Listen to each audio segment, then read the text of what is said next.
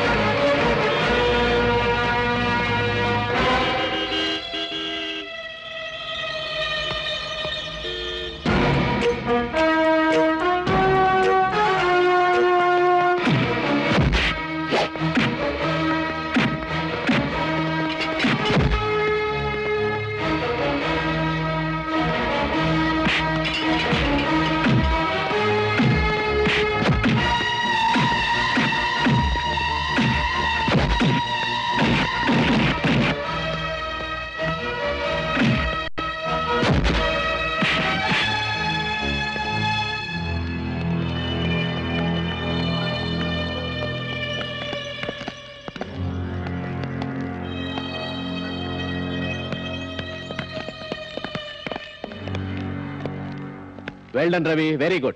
Thank you, sir. Uh, please take him to hospital. No, sir. I can manage. No, no, no. Please take him, Ravi. Come. Please.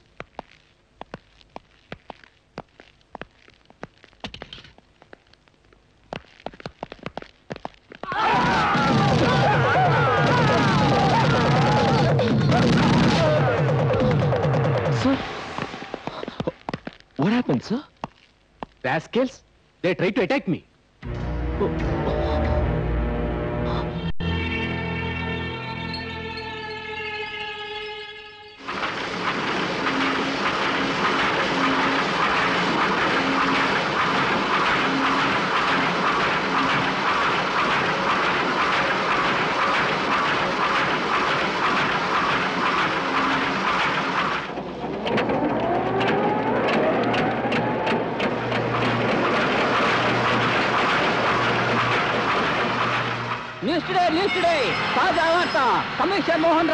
Rao సాహసం తీవ్రవాదం చంపిన commissioner.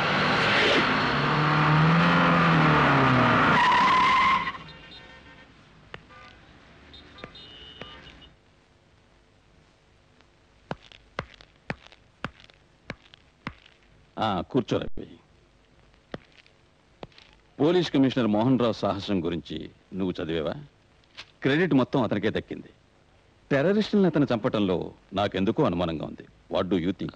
Sir ఆ సమయంలో అక్కడ చంపబడ్డ వాళ్ళందరూ కూడా Bombay under వరల్డ్కి సంబంధించిన వాళ్ళనేది ఐడెంటిఫై చేయబడింది. హత్యలు డ్రగ్స్ అక్రమ రవాణా లాంటి కేసుల్లో అసలు దోషులు పట్టుబడరు. ఎలా జరిగినప్పటికీ అక్కడ పోలీసులపై కాల్పులనేవి ఒక ఆఫీసర్ని ప్రాణాపాయంలో పడేశాయి.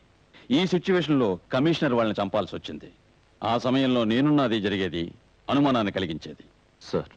పత్రికలు ఏం రాసినప్పటికీ టెర్రరిస్టులను పట్టుకోవడంలో నీ సాహసాన్ని నేను అభినందిస్తున్నాను. I appreciate your too great. Thank you sir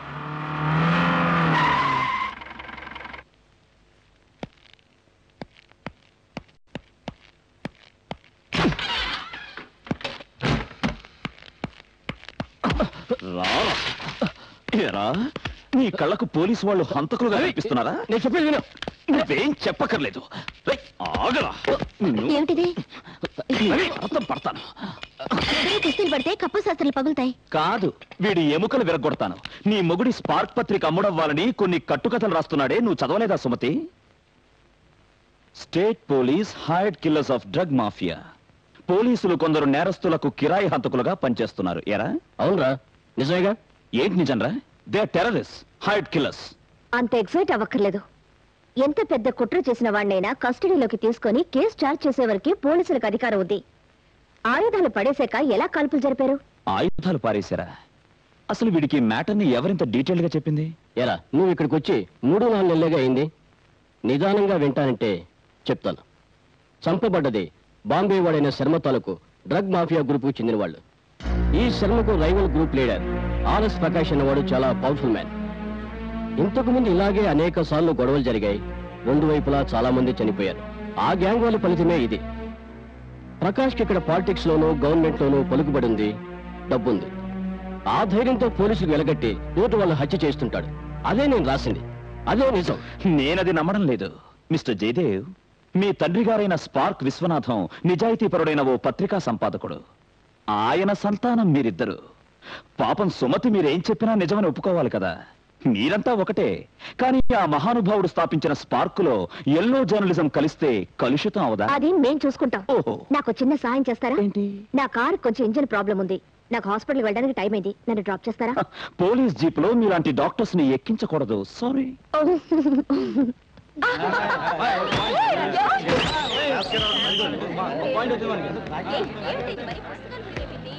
అరే శరత్ ఈ పేపర్ చూడు. మీ డాడీ అండర్ వరల్డ్ కింగ్ అని రాశారు. అవును మీ నాన్న మాఫియా చీఫా? ఆ? ఆర్ఎస్ ప్రకాష్ ఏ mafia gang leader? Spark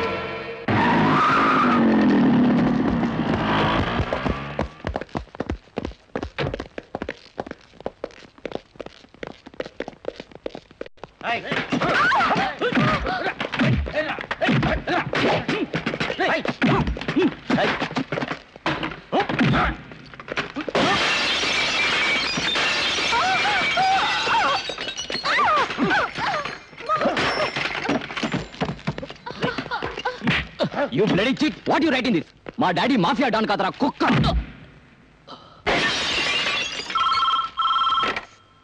yes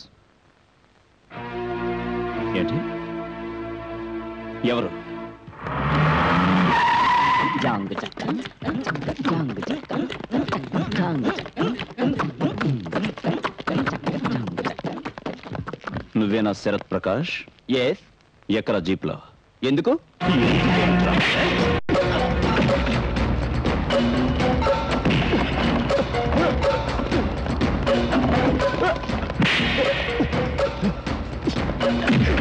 ఉండరా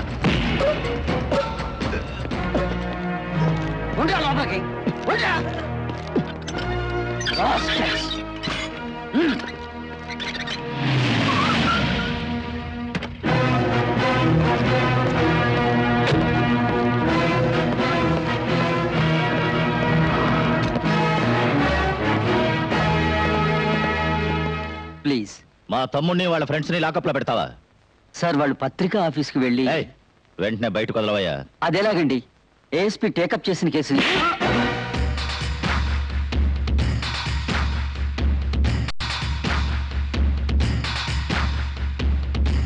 తాళాలేటి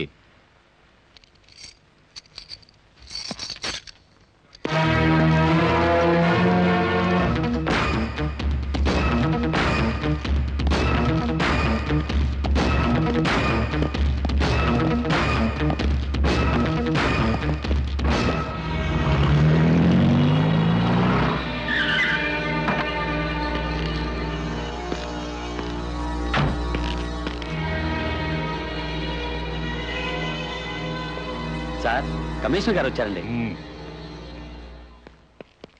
వెళ్ళండి సార్.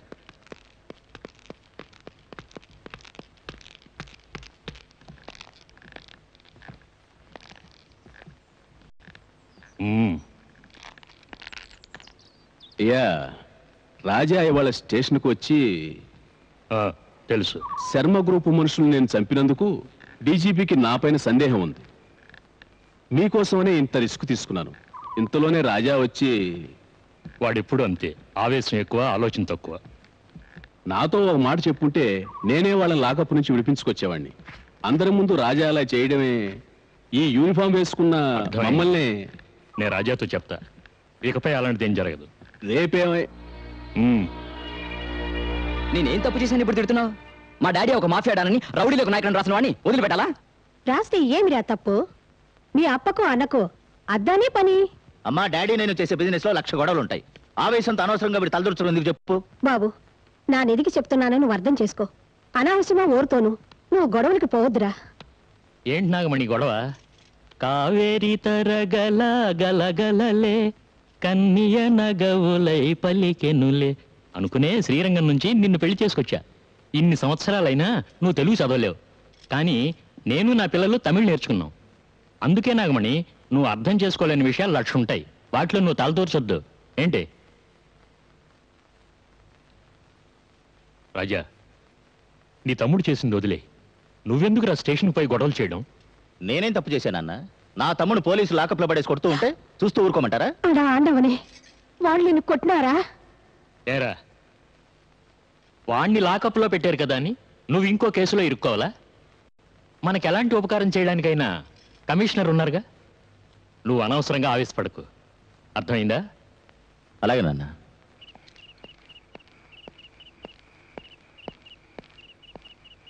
గోవిందయ్య ఆహా. నువ్వు ఇంటికి వెళ్ళు. రేపు ఉదయాన్నే మామూలుగా వచ్చాయి. అయ్యగారు. మా అబ్బాయి విషయం నాకు ఆ మాత్రం తెలియదా? మీ అబ్బాయి మా అబ్బాయి లాంటివాడే కదా. అతన్ని ఇక్కడికే ట్రాన్స్ఫర్ చేయమని మేనేజర్తో చెప్పాను. చాలా సంతోషం అయ్యగారు. ఈ ఉపకారం మీరు చేసి పెడితే మా అబ్బాయి నా కాళ్ళ ముందే ఉంటాడు. Okay okay. హలో. రే ప్రకాష్ నువ్వేం చేసావో నాకు తెలుసు. నిన్ను నేను ఊరికి వదిలిపెట్టాను. శర్మ ఏం నన్ను బెదిరిస్తున్నా? మై సబ్ జాంతా మా ఇచ్చి తరఫ్ జాంతా కేసుకి కి ఇస్కి పీచే సాలే నాలుగు మెతుకులు కుక్కలు కేసినట్టు నా మనుషుల్ని పోలీసులకి బలిచ్చావు కదా కుత్తగా మౌత్ మారేగా. హా కుత్తగా మౌత్ మారేగా తు. నువ్వు నన్ను ఏం చేయగలవు? చెప్పండి రా చేసి చూపిస్తాను. రై ఏంట్రా మా నాన్న బెదిరిస్తున్నావు? రై మై సబ్ జాంతా మీ తండ్రి కొడుకులు ఇద్దరిది. ఇద్దరి దగ్గర నీ ఆటలే సాగవు. సాలే బౌత్ పస్తాయిగా తూ. I will not leave you for this రై నీ మనుషులు మేమేరా చంపమని చెప్పింది? నీ గూండాలను పంపి భయపెట్టాలని చూస్తున్నావేమో. నువ్వు బాంబేలో అయితే పెద్ద పోటుగాడు కావచ్చు. ఇక్కడికి వచ్చి చూడు నీ మనుషులకు పట్టిన గతేరా నీకు పడుతుంది. ఇక్కడ నేనైనా రాజా? సాలే తుమారా మే ఇతనీ హిమ్మత్. నీకు ప్రాణాల మీద ఆశ అనేది ఉంటే భగవంతుడికి అప్లికేషన్ పెట్టుకో. కుత్తే మై తుమే చూడగా నై అరే ఛే ఫోన్ పెట్టరా? మనమే చేసామని వాడికెందుకు చెప్పావురా? ఇందులో దాచిపెట్టడానికి ఏముంది నాన్న? అన్నీ తెలుసుకున్న తర్వాత ఫోన్ చేశాడు. భయపెడతాడా? వాణ్ణి? డాడీ సరమంటే భయపడుతున్నారా? వాడిని అక్కడికి పోయి షూట్ చేసి వస్తాను. ఛీ, పోరా. రాజా చర్మనంత తక్కువగా అంచనా వేయకు. ఎందుకైనా కొంచెం జాగ్రత్తగా ఉండు. ఎన్న ఓరది? నాగమణి. అందుకే ఇలా లూజ్ మోషన్స్ పట్టుకున్నాయి వెంటనే దీన్ని హాస్పిటల్ తీసుకెళ్ళడం ఎందుకైనా మంచిది. అయితే ఈ జీప్లో హాస్పిటల్ తీసుకెళ్దాం. అమ్మో అది రవిప్రసాద్ గారి జీపు. ఏఎస్పి. అయితే ఏం గొప్ప? తనే డ్రాప్ చేస్తాడు. కమిషనర్ నీ ఎదురుగానేనా? ఆ ఎస్ఐని క్వశ్చన్ చేసింది? సార్. ఏమన్నాడు? తనను ఎవరూ కొట్టలేదని చెప్పాడు. లాకప్లో ఉండేవాళ్ళని ఒక అతను అడ్వకేట్తో వచ్చి జామీన్ మీద విడిపించుకెళ్ళాడని చెప్పాడు. నువ్వు ఆవేశపడ్డావా? నీకెందుకు ఆవేశం? ఇవన్నీ మామూలే. మిస్టర్ రవి చూసి చూడనట్టు పోతుండాలి. అదే మంచిది. ఎదుటి వాళ్ళను తప్పు పట్టడం వేస్ట్. అర్థమైందా? ఈ రహస్యాలన్నీ స్పార్క్ ఎడిటర్ జయదేవి తెలిసి ఉండొచ్చు. అతను నీకు బాగా కావలసిన వాడేగా? అరే నువ్వు ఇంకా వెళ్ళలేదమ్మా? నన్ను రవి డ్రాప్ చేస్తానన్నాడు నేను డాడీ ప్లీజ్. డాడీ నేను రవి ఇలా కలిసి వెళ్తున్నందుకు మీరేం తప్పుగా అనుకోరుగా? తప్ప? What's wrong in it I told him daddy మా డాడీ అంత చీప్ కాదు. మన గురించి ఏమీ మిస్అండర్స్టాండ్ చేసుకోరు అని చెప్పాను. But you know daddy he's very shy is it daddy మీరే చెప్పండి నన్ను కాలేజీ దగ్గర డ్రాప్ చేయమని? ష్యూర్ సార్ నేను- మిస్టర్ రవి అభ్యంతరం లేకపోతే అమ్మాయిని కాలేజీ దగ్గర డ్రాప్ చేయి. అదే నేను? Please. Okay.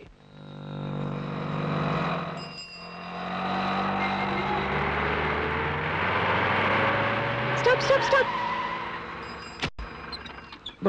దీంతో పెద్ద న్యూసెన్స్ అయిపోయింది. ఖరాబ్ ఏం చేయలేదు.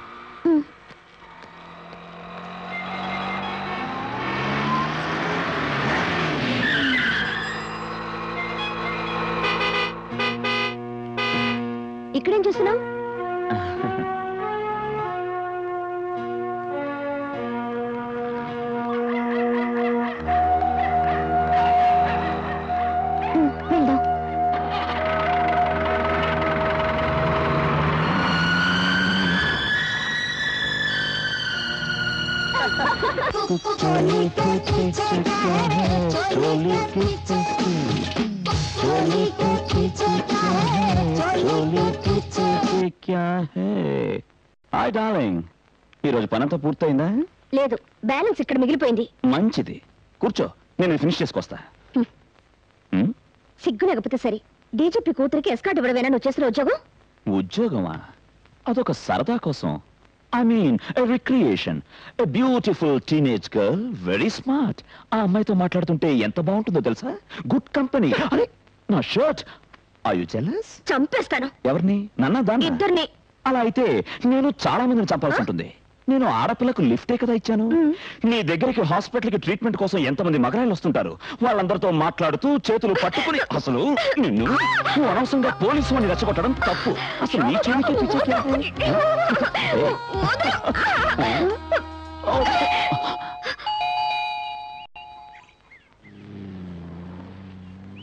ఏంటి బషీర్? సార్ మీతో సంగతి చెప్పాలని? డీజీపీ గారి ఇంట్లో డ్రైవర్ పోస్ట్ అయినప్పటికీ ఆయన గారు కుక్కలు చూసుకోవడమే సార్ నా ఉద్యోగం. ఒకటి రెండు కాదు. డజన్ కుక్కల దాకా ఉన్నాయి. స్నానం చేయించడం తిండి పెట్టడం బొచ్చు శుభ్రం చేయడం బయట వాళ్ళందరూ నన్ను కుక్కల బషీర్ అంటున్నారు. మీరే నన్ను రక్షించాలి. నన్ను ఎక్కడికైనా ఇక్కడి నుంచి బదిలీ చేయించాలి. దిగులు పడకు అదంతా నేను చూసుకుంటాను. బాధగా ఉందని వాళ్ళకి నువ్వే నేరుగా చెప్తే బాగుంటుంది కదా? వాళ్ళకి నేరుగా చెప్తే నేరం అవుతుంది కదా సార్. ఆయన అలాంటి వ్యక్తి కాదు. చాలా మంచివాడని నీకు తెలుసుగా? తెలుసు కానీ ఈ కుక్కల బడి లేకపోతే నాకు ఆ ఇంట్లో చాలా సుఖం సార్. కుటుంబంలో ఒకటిగా చూసుకుంటారు నన్ను. తండ్రి కూతురు ఇద్దరికి నేనంటే చాలా ఇష్టం. ఆ పిల్ల ఒక పిచ్చిమాలోకం కదా. ఓహో అలా అనుకుంటున్నారా? ఏమైనా తల్లి లేని పిల్ల కదా అని లాలించి పొద్దుగించి పెంచడం వల్ల కొంచెం అల్లరి ఎక్కువ.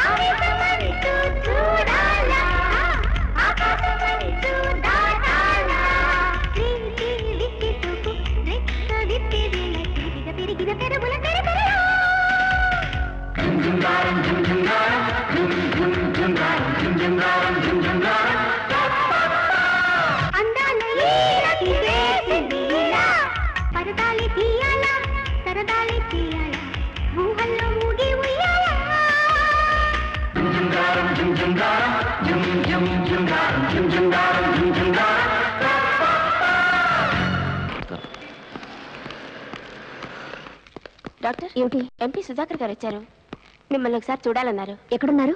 ఎమ్మెల్యే గారి రూమ్లో ఉన్నారు వస్తానండి. సార్ వస్తామండి? వస్తామమ్మా. మంచిదండి. ఏమిటిలా వచ్చారు?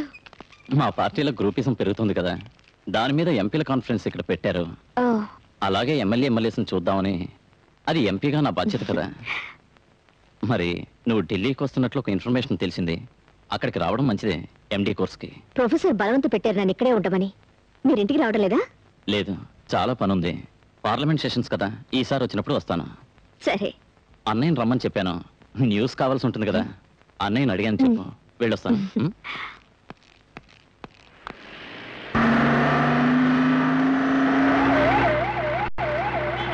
On Banjara Hills High Road. Yeah. It's on the other side. Exactly. Shall we coming Huh? Yes? అవును. సరే. ఓకే. ఎస్ మంజు నేను ఇంతకుముందు పరిచయం చేశాను కదా? మా కాలేజీ చైర్పర్సన్. ఆహా ఏమిటి? చెప్పు మంజు. అది అడిక్ అనే అసోసియేషన్ ఉంది. దానికి మీరు గెస్ట్గా వచ్చి అడిక్? అదేంటది? ADIC alcohol drug information and counselling. మత్తు మందుల మీద ఓహో. మీరు వచ్చి ఉపన్యాసం ఇవ్వాలి. మత్తు మందులకు వ్యతిరేకంగా పోరాడేవాడిని నేను. కానీ ఉపన్యాసం నాకు అలవాట్లేదు. అలా అనకండి. మీరు వచ్చి తీరాలి. Please sir. చెప్పాను కదా నేను రానని. ఊరికే డిస్టర్బ్ చేయకుండా వెళ్ళండి. నేను అప్పుడే చెప్పాను కదే ఈయన గారు రారని. పద వెళ్దాం.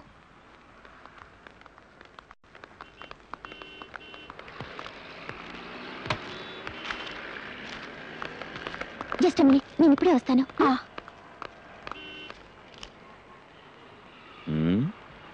నువ్వేంటి? ఇది నా పర్సనల్ విషయం. రాత్రి మంజు బర్త్డే పార్టీ జరిగింది.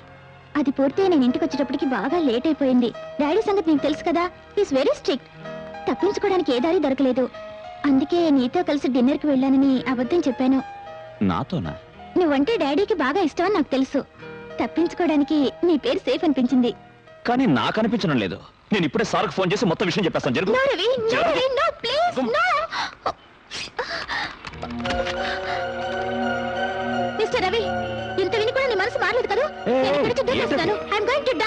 ఏం బెదిరిస్తున్నావా?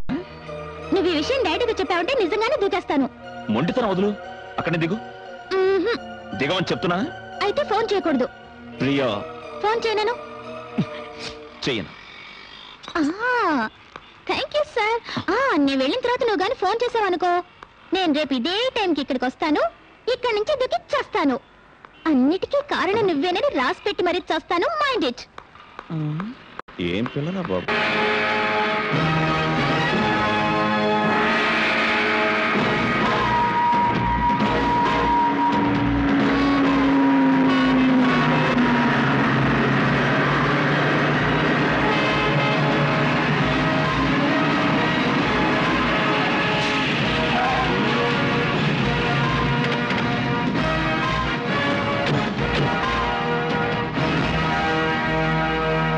याद रखना। Sir. Do exactly as I told you sir. चलो निकलो।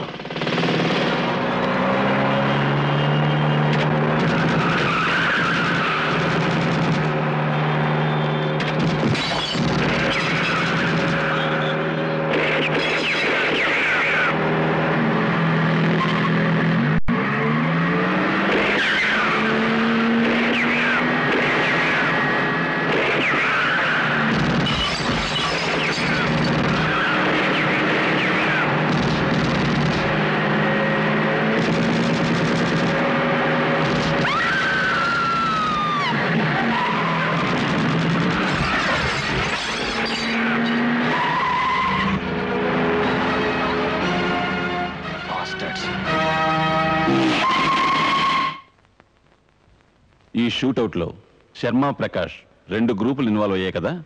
అలాంటప్పుడు మీరెందుకు ప్రకాష్ గ్రూప్ మీద కేసు పెట్టలేదు? సార్ ఎవిడెన్స్ లేకుండా ఎలా?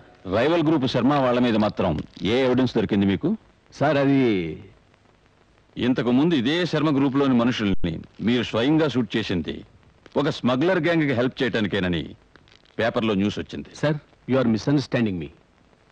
Mister Mohan Rao don't think others are fools. Partiality లేకుండా ఈ కేసు డీల్ చేయగలిగితే చేయండి. Otherwise I will hand the case to somebody else sir మీరు no అనుకుంటున్నట్టుగా you can go yes sir ఈ బెదిరింపులు నాకు అలవాటైనవే. అన్నీ తెలిసిన వాడివి నువ్వు కూడా ఇలా మాట్లాడడం నన్ను తప్పుగా అనుకోకండి. కాలేజీ వదలగానే జీవించే దారి లేక తిండి గతి లేని రోజుల్లో నాకు ఒక దారి చూపించింది మీ నాన్నగారు. రిపోర్టర్గా సబ్ ఎడిటర్గా గొప్ప వక్తగా నన్ను రాష్ట్రమంతటికి తెలిసేలా చేసిన ఆ మహాత్ముని మేలు నేను ఎన్నటికీ మర్చిపోను. ఈ పత్రిక అభివృద్ధిని నిజంగా కోరుకునేవాడిని నేను. అందుకే చెప్తున్నా. అయితే సంఘ విద్రోహ శక్తులకు నన్ను లొంగిపోమంటావా? ఎప్పుడు అలా అన్నా. ఇలా మొహం మీద కొట్టినట్లు ఘాటుగా విమర్శించడం కంటే కొంచెం సాఫ్ట్ కావాలి. అది నా రిక్వెస్ట్. మీరేమంటారు? నాకు ఏమీ అర్థం కావట్లేదు. ఆ, జ్యోతి వచ్చే టైం అయిందనుకుంటాను? హాస్పిటల్ ఫోన్ చేసి బయలుదేరమని. చెప్తాను. ఆ, అది సరే. ఇంతకు ముందు మీకు చెప్పిన విషయం తొందరపడకుండా నిదానంగా ఆలోచించి ఒక నిర్ణయానికి రండి. ఎంగేజ్గా ఉంది. లైన్ దొరకట్లేదు. సరే నేను వెళ్ళొస్తాను. సుధాకర్ ఇప్పుడుండే పొజిషన్ నీకు తెలుసుగా. మళ్ళీ మార్పులంటూ జరిగితే తప్పకుండా అతను మంత్రి అవుతాడు ఏదేమైనా జ్యోతికి కూడా ఒక మాట చెప్పాలిగా? అన్నీ మనమే నిర్ణయిస్తే ఎలా? నిజమే. ఉన్నట్టుండి సుధాకర్ నన్ను అలా అడిగినప్పుడు నాకేమనాలో అర్థం కాలేదు. ఏమైనప్పటికీ సుధాకర్ ప్రపోజల్ మీ అన్నయ్య ఇష్టపడుతున్నారని అర్థం. ఓ పెద్ద కారులో మంత్రి భారీగా చెల్లు దిగడం అనేది ఆయన మనసుకు నచ్చినట్టుంది. నువ్వు అలా దిగుతుంటే నాలాంటి మామూలు పోలీసు వాడు సెల్యూట్ చేయాలి. తోకాడిస్తూ వెనకాల ఎస్కార్ట్ ఇవ్వాలి. ఆ వైభోగం చూడాలని నీకు మోజు. మరే ఆ భాగ్యానికి మధ్యలో నువ్వు వచ్చి నాతో గొడవ పడక్కర్లేదు. ఈ కొద్దిపాటి పరిచయంలో నేను నీకు చెప్పేది ఏమిటంటే జరిగినంత మర్చిపో అన్ని సర్దుకుంటాయి. ప్లీజ్ ఎవరైనా చూస్తారు వదులు నిన్ను ఈరోజు ఊరికే వదిలిపెట్టను. ఏం చూస్తావు? నిన్ను ఇలాగే పట్టుకుని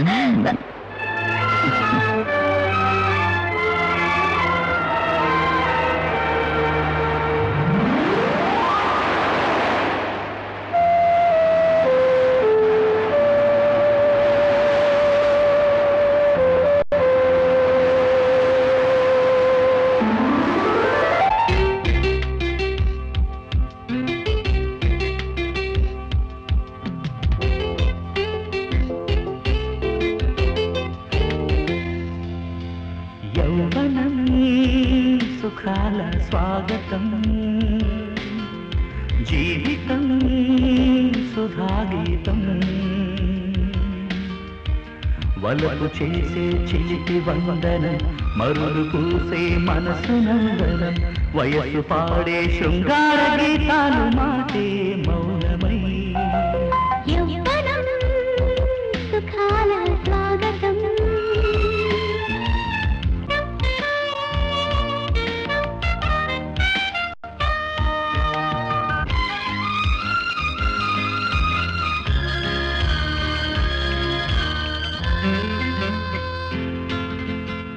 పలికి చూపే కథలు చెప్పగా అలకలన్నీ తీరగా తడుకులన్నీ తారలైన వేళ.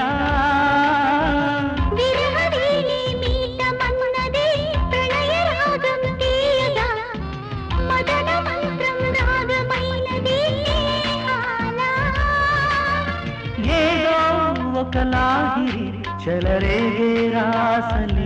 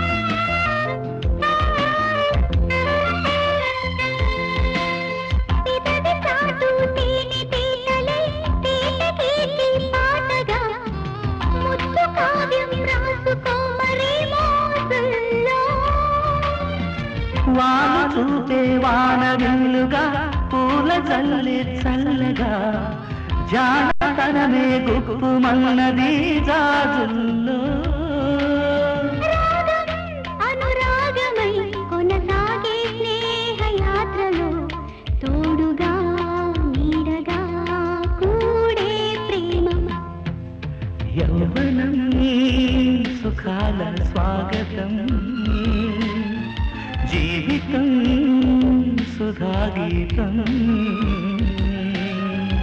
వలపు చేసి చిలిపి వందనం మరులు పూసి మనసు నందనం. వయసు పాడి శృంగార గీతాలు మాటే మౌనమై. యౌవనం సుఖాల స్వాగతం. లా లా.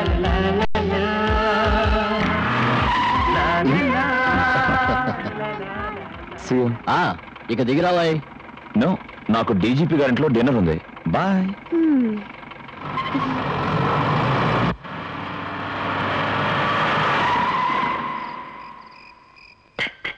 బేబీ డ్రింక్స్ పెట్టమని చెప్పు.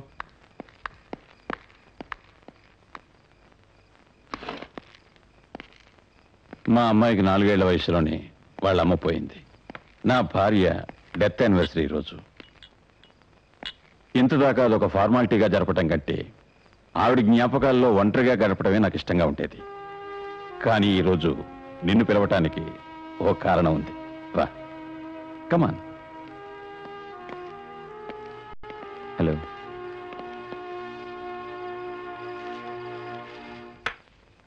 నేను గొప్ప ఆదర్శవంతుడని అనుకోవటం లేదు. అలాగని ఈ ఉద్యోగంలో పెద్దగా సంపాదించింది కూడా ఏమీ లేదు. కమాన్ కమాన్ ఐసే మా అమ్మాయికి రెండు మూడు తరాలకు సరిపడే ఆస్తులు వాళ్ళ అమ్మ తరఫు నుండి వచ్చాయి. తీసుకో. నీ బ్యాక్గ్రౌండ్ సాధారణమైందని తెలుసు. చదివింది పెరిగింది అంతా ఢిల్లీలోనే. సార్. అమ్మ ఎప్పుడూ పోయింది. నాన్న మిలిటరీలో మేజర్. నాలుగు సంవత్సరాల ముందు ఒక మైన్ యాక్సిడెంట్ కాశ్మీర్లో జరిగి ఏమంటున్నారు? ఇంకా అర్థం కాలా? ప్రేగు వయసు పంతొమ్మిది దాటింది. చదువు కూడా అయిపోవచ్చింది. నువ్వు ఇలా బ్రహ్మచారిగా ఎంతకాలం ఉంటావు చెప్పు? సార్ సార్ నన్ను ఇంకోలా అనుకోవద్దు. నాకు నాకు ఏంటి? నాకు నిశ్చితార్థం ఇంతకు ముందే జరిగింది. నిశ్చితార్థం జరిగిందా? వాట్ యు మీన్ మరి అలాంటప్పుడు నా బిడ్డనెందుకు రాత్రులు డిన్నర్లకి పార్టీలకి తీసుకెళ్ళావు sir let me explain sir రేయ్ నువ్వేదో బుద్ధిమంతుడు అని ఇంతకాలం అనుకుంటూ వచ్చాను. ఒక చీపు ఉమనైజర్ లాగా నా బిడ్డని సార్ సార్ నేను చెప్పేది కాస్త వినండి. I don't want to hear you జరిగింది ఏమిటో తెలుసుకోకుండా మీరు ఇలా అండం షట్ యువర్ బ్లడీ మౌత్ మళ్ళీ ఇంకోసారి మా అమ్మాయితో కనిపిస్తే I will shoot you sir అనవసరంగా నన్ను అనుమానించకండి. Get out sir. I say get out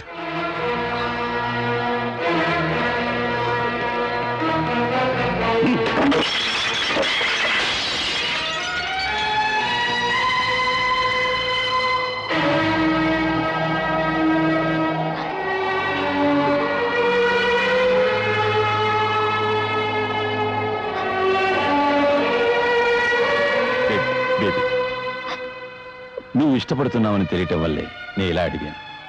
పోనీలే. వాడికంటే యోగ్యుడైన వాడిని నేను నీకు తీసుకొస్తాను. బాధపడకు.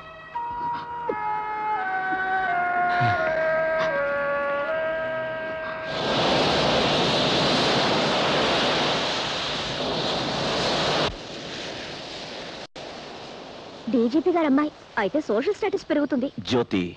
అమ్మాయి ఏమో బాగుంటుంది.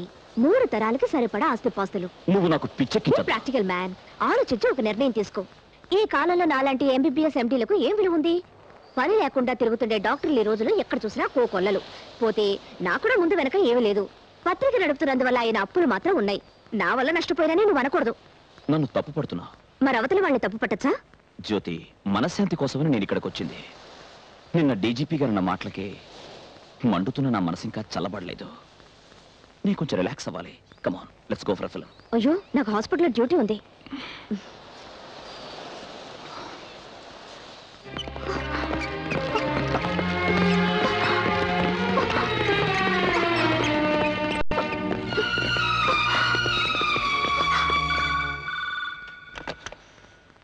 ఎస్ ఎవరు? ఓ my god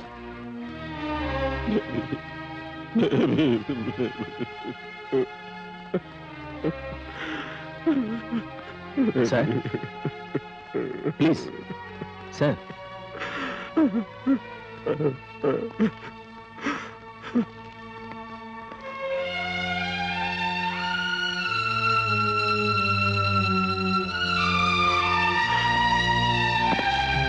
You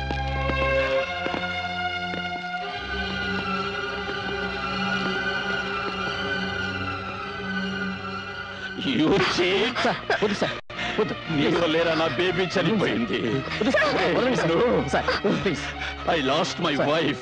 Now I lost my daughter. I lost everything because of you. I will kill you. I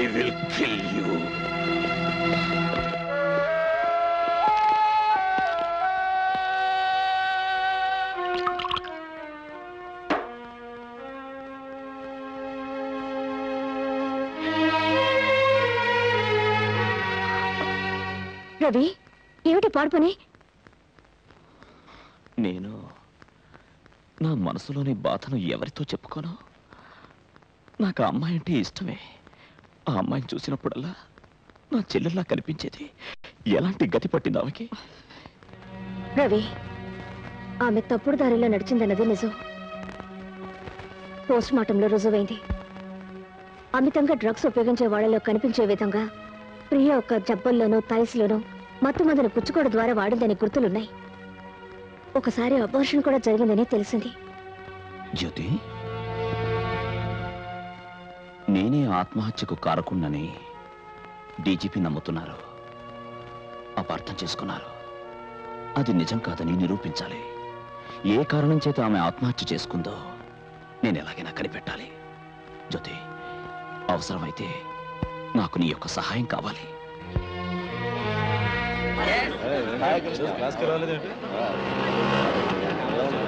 క్లాస్లో ఉంది.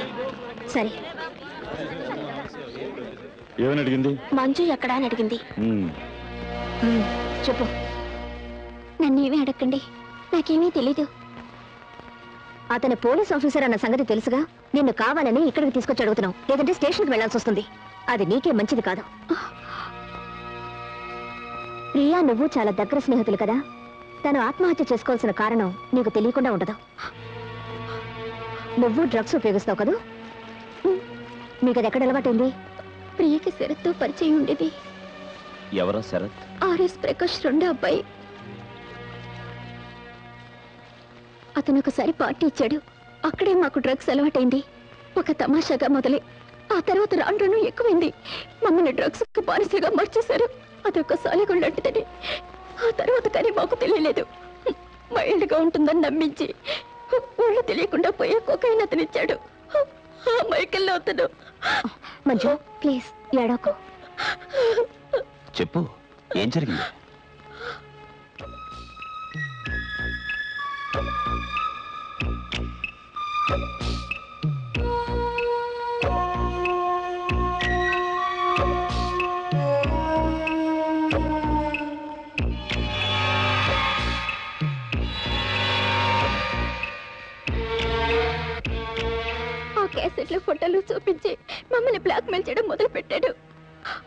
బ్లాక్మెయిల్ ఏం చేశాడు?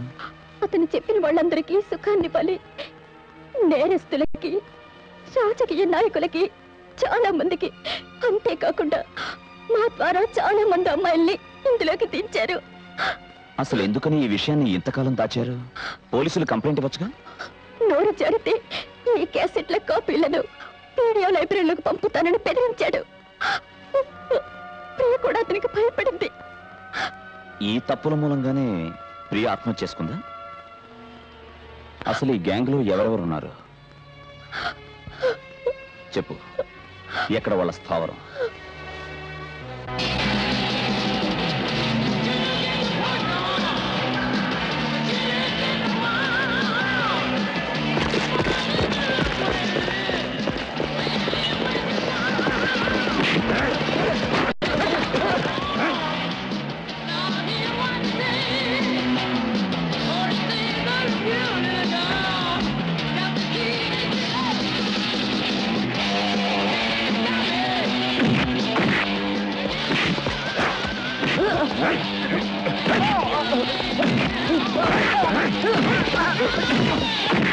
Come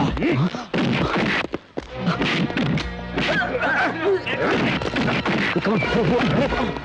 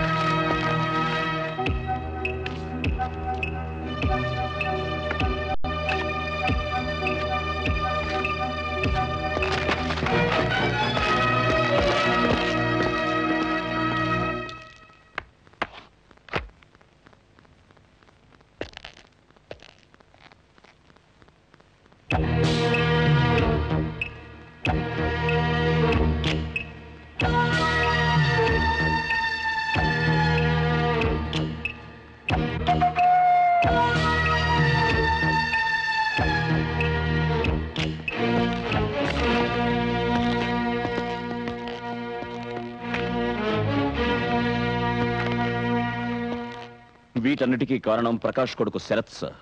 వెంటనే అతను అరెస్ట్ చేయాలి. Will you have any evidence against him ఈ క్యాసెట్స్ పట్టుకున్నంత మాత్రాన మనకు వ్యతిరేకంగా పోలీసులకు ఒక్క సాక్ష్యం దొరకదు. మనేం భయపడక్కర్లేదు. కానీ మంజులాగా మిగతా ఆడపిల్లలను గుర్తుపట్టారంటేనే మనకు ప్రాబ్లం. అలా జరగకూడదు. ఏమిటం అనేది? మిగిలిన ఆడపిల్లలు ఇలా నోరు జారితే వాళ్ళకి ఏ గతి పడుతుందో బాగా అర్థమయ్యేలా చేయాలి. ఏం చేయబోతున్నావు? రేపేం చేస్తాను చూడు.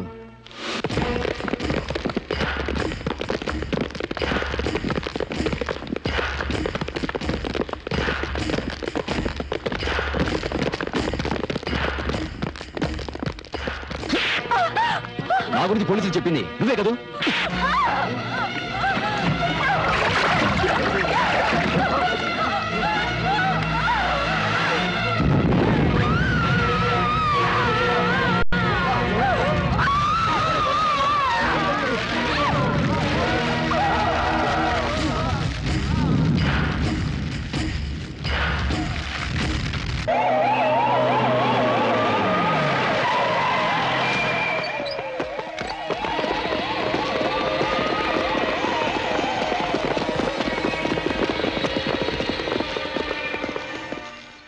మీ చిన్నబ్బాయి శరత్ను అరెస్ట్ చేయడానికి వచ్చాం. ఎక్కడ వాడు? నన్నెందుకు అడుగుతారు? నేను ఎప్పుడో వాడిని ఇంటి నుంచి వెళ్ళగొట్టాను. నాకు వాడికి ఏ సంబంధం లేదు. మిస్టర్ ప్రకాష్! అనుమానం ఉంటే వెతుక్కోండి. సర్చ్!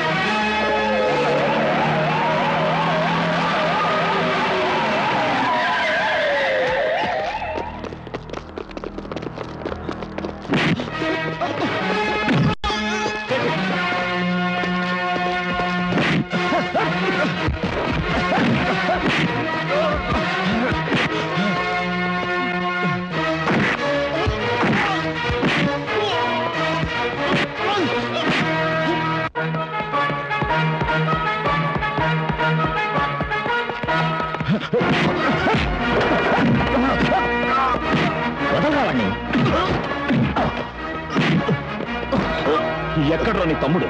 ఎక్కడా శరత్?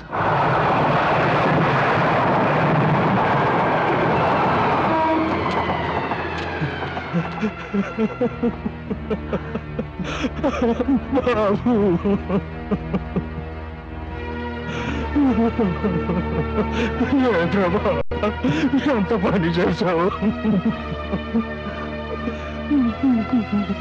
సార్ నాకు అనుమానం. తర్వాత మాట్లాడుకుందాం.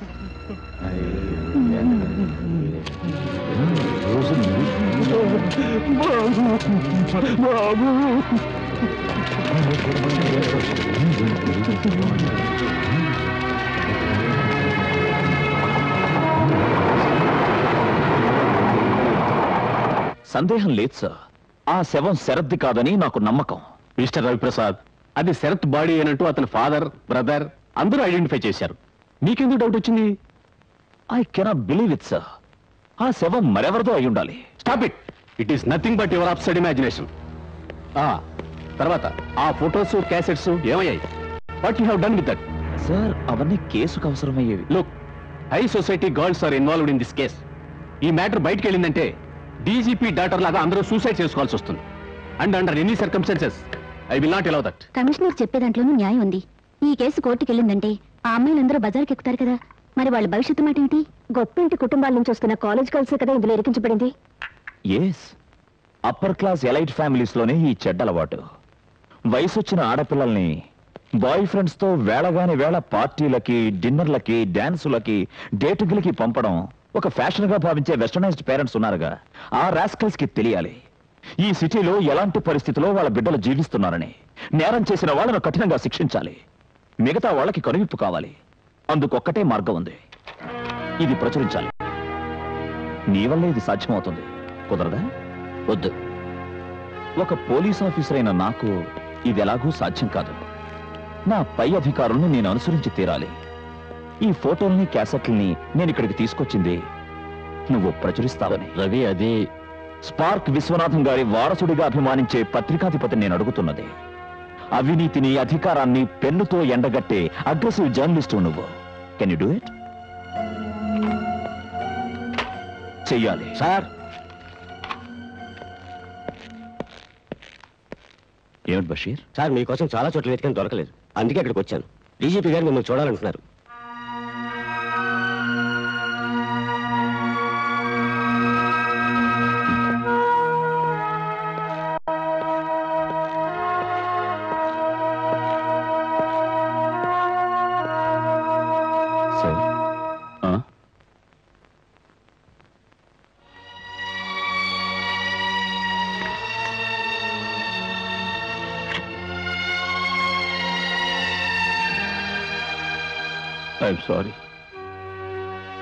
నన్ను క్షమించు రవి ప్లీజ్ డోంట్ సార్ అసలు ఏం జరుగుతుందో తెలుసుకోలేకపోయా. లేకుంటే నా బిడ్డకి ఈ గతి సార్ ఇందులో నా తప్పు కూడా కొంత. లేకపోలేదు. జీవితాన్ని అనుభవించాలనే నా బిడ్డను నేను ఏనాడు కాదనలేదు.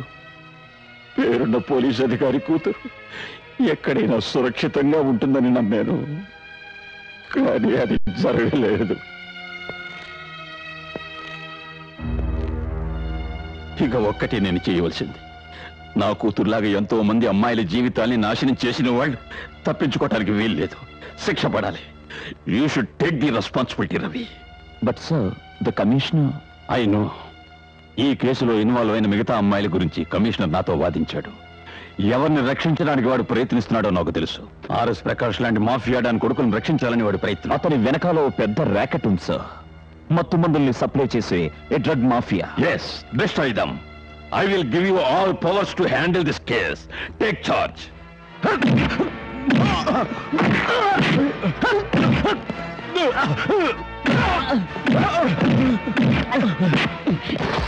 నిజం చెప్పరా? ఎక్కడి నుంచి మీకు డ్రగ్స్ అందుతున్నాయి? ఎవరు దీనికి ఏజెంట్? చెప్పు. The position is very serious చనిపోయింది డీజీపీ గారి అమ్మాయి. సంబంధం ఉన్న వాళ్ళని అతను ఊరికే వదిలిపెట్టడు.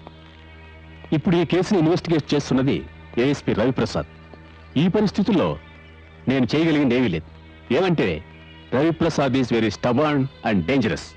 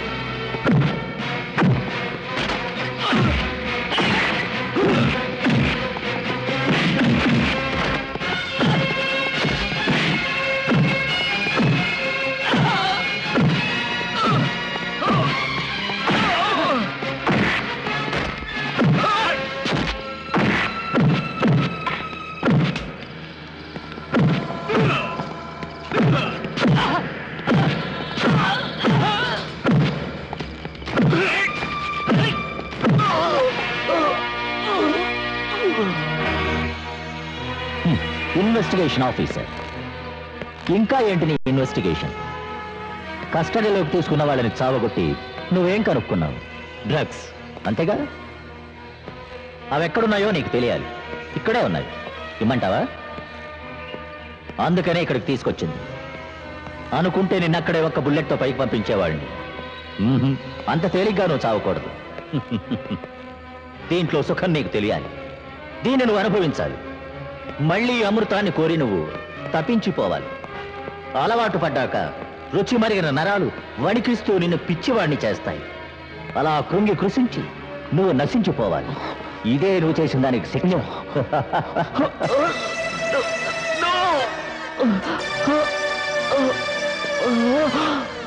Please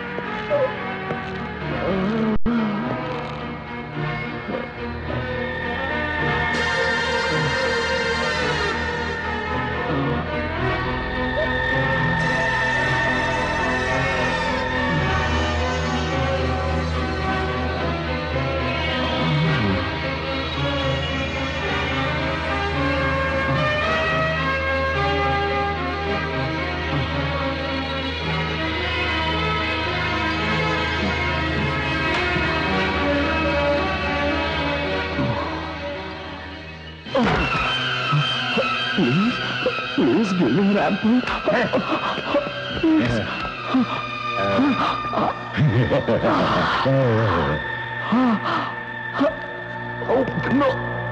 No!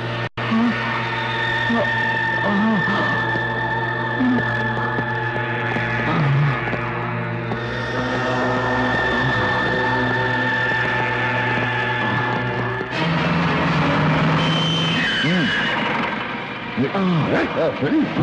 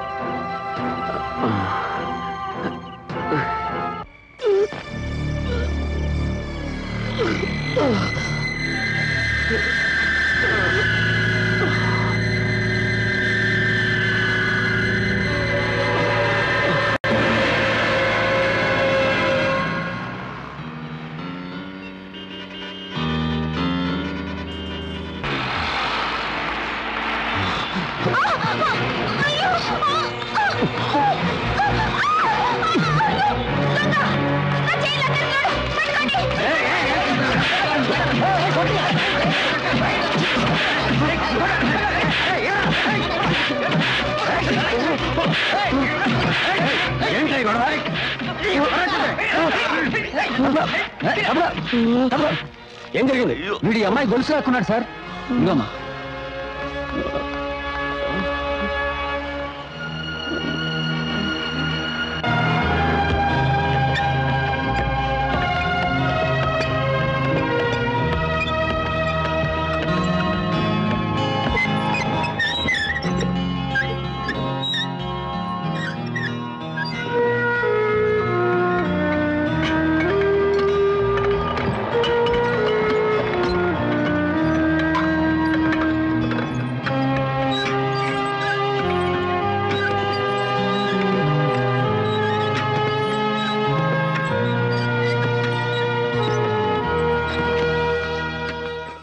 అయిపోయిందా?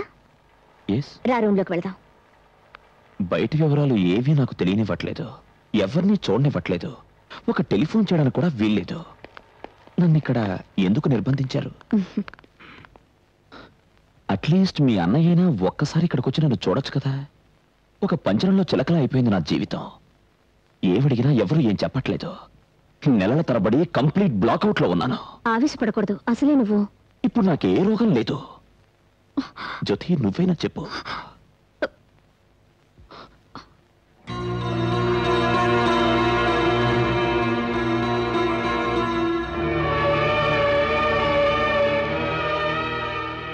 జ్యోతి నీకు? అవును రవి నాకు పెళ్ళయింది.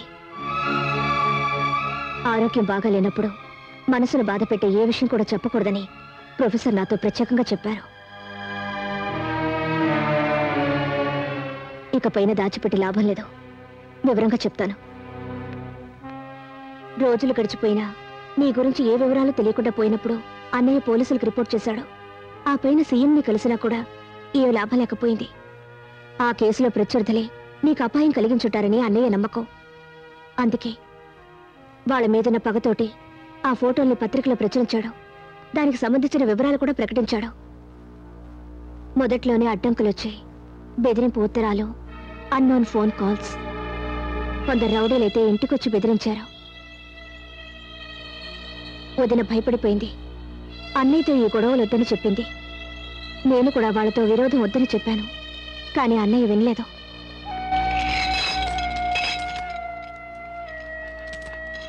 ఆ రోజు వదినతోటి నేను మార్కెట్కి వెళ్ళాను. ఆ రోజు మా అన్నయ్య పౌత్రి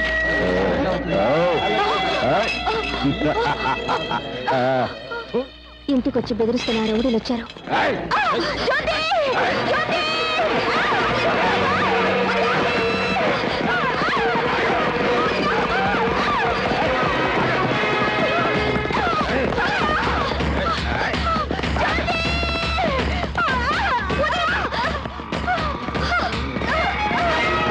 తప్పించుకోవడానికని వదిన ఆ దారిలో వెళ్తున్న ఓ బస్సులో ఎక్కాడు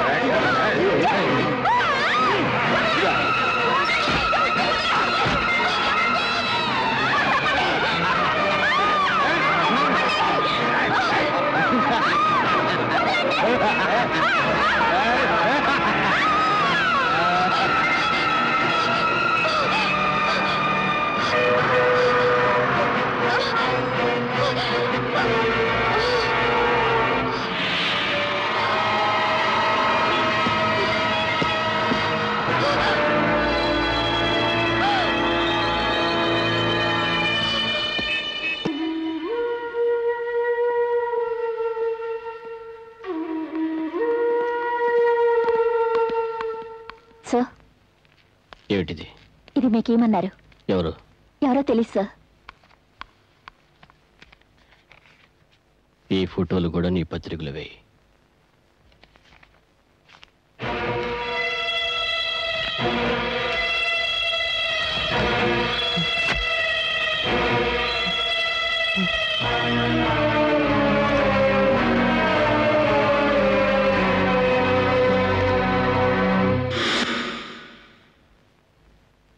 ఆ రాత్రి అన్నయ్యను పోలీసులు అరెస్ట్ చేశారు. రెండు మూడు రోజుల దాకా ఏ విషయం తెలియదు. ఏం చేయాలి ఎక్కడికి వెళ్ళాలని తెలియక బాధపడుతున్నాను నేను. ఆ సమయంలోనే సుధాకర్ అక్కడికి వచ్చాడు. అతను నాకు సహాయపడ్డాడు. ఎంపీగా తనకున్న హోదాతో ఇన్ఫ్లుయెన్స్ ఉపయోగించి అన్నయ్యను రక్షించడానికి అతను చాలా శ్రమపడ్డాడు. కానీ పోలీసులు అన్నయ్యని చార్జ్ చేసింది బెయిల్ రానటువంటి కేసు. పేపర్లో పబ్లిష్ చేసిన ఆ ఫోటోలన్నీ నేను కృత్రిమంగా తయారు చేసినవన్నారు. అవి చూపించి ఆ అమ్మాయిని బెదిరించి నేను బ్లాక్మెయిల్ చేసి అందరి వద్ద డబ్బు గుంజానని పోలీసులు నా మీద కేసు పెట్టారు. నేరం ఒప్పుకోమంటూ నన్ను నానా రకాలుగా హింసిస్తున్నారు. జయ నువ్వు నిరపరాధివని నాకు తెలుసు. కేసు కోర్టుకు రాగానే ఒక మంచి క్రిమినల్ లాయర్ని నీ తరపున వాదించడానికి నేను ఏర్పాటు చేశాను. నువ్వు ధైర్యంగా ఉండు.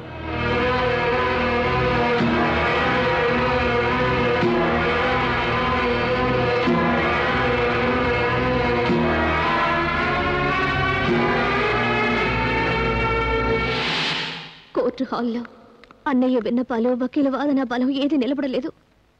సమాజానికి భయపడిన వాళ్ళే నిరపరాధన విషయాన్ని మరిచి అన్నయ్యకు వ్యతిరేకంగా సాక్ష్యమిచ్చారు ఈ సాక్ష్యం ఇచ్చింది సమాజంలో పెద్ద మనుషులుగా చెలామణి అయ్యే ఫైనాన్షియర్ చమన్ లాల్జీ మిల్లి యజమాని Chidambaram Chetty garu heart surgeon doctor Arundhati Devi social worker Mrs Malathi.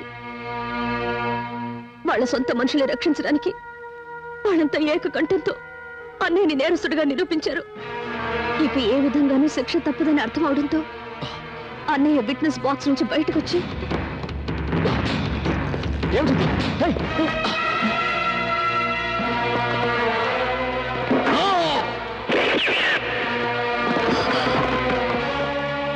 జయ వద్దు.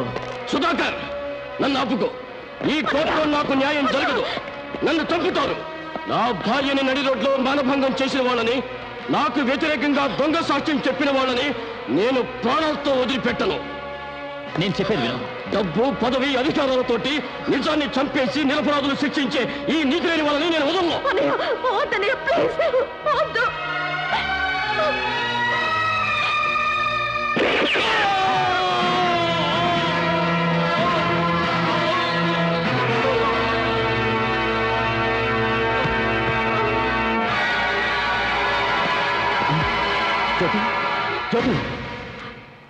అన్నయ్య దహన సంస్కారం అయిన రోజే వదిలి వాళ్ళ వాళ్ళు తీసుకెళ్ళారు నాకు నాకు ఈ ఒంటరి జీవితం మీద పూర్తిగా విరక్తి కలిగింది.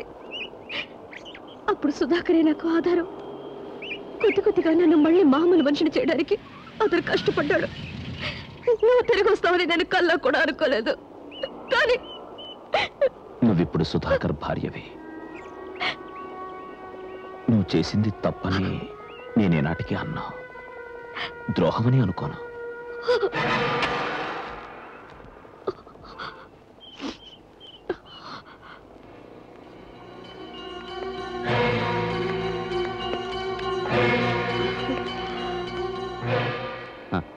ఐఎమ్ సుధాకర్ జ్యోతి వెళ్దాం.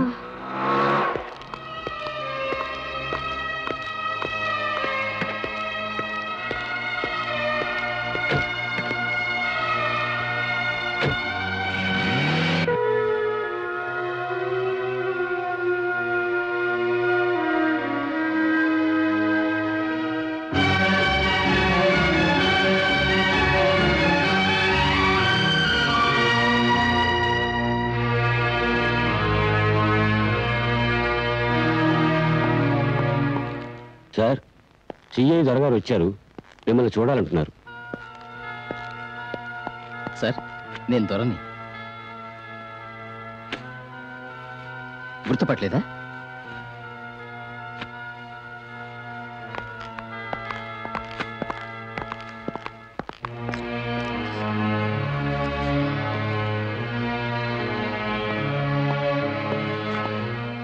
బషీర్ సిఐ వెళ్ళాడా? వెళ్ళారు సార్. సార్ ఏ పరిస్థితుల్లోనూ జరిగిన విషయాల్లో ఒక్కటి కూడా మీకు తెలియకూడదని డాక్టర్ చెప్పారు. అందుకే నేను నేను బెంగళూరు వెళ్ళాలి. కొన్ని సామాన్లు కావాల్సిందే ఒక టాక్సీ ఏర్పాటు చేస్తావా? అలాగే సార్.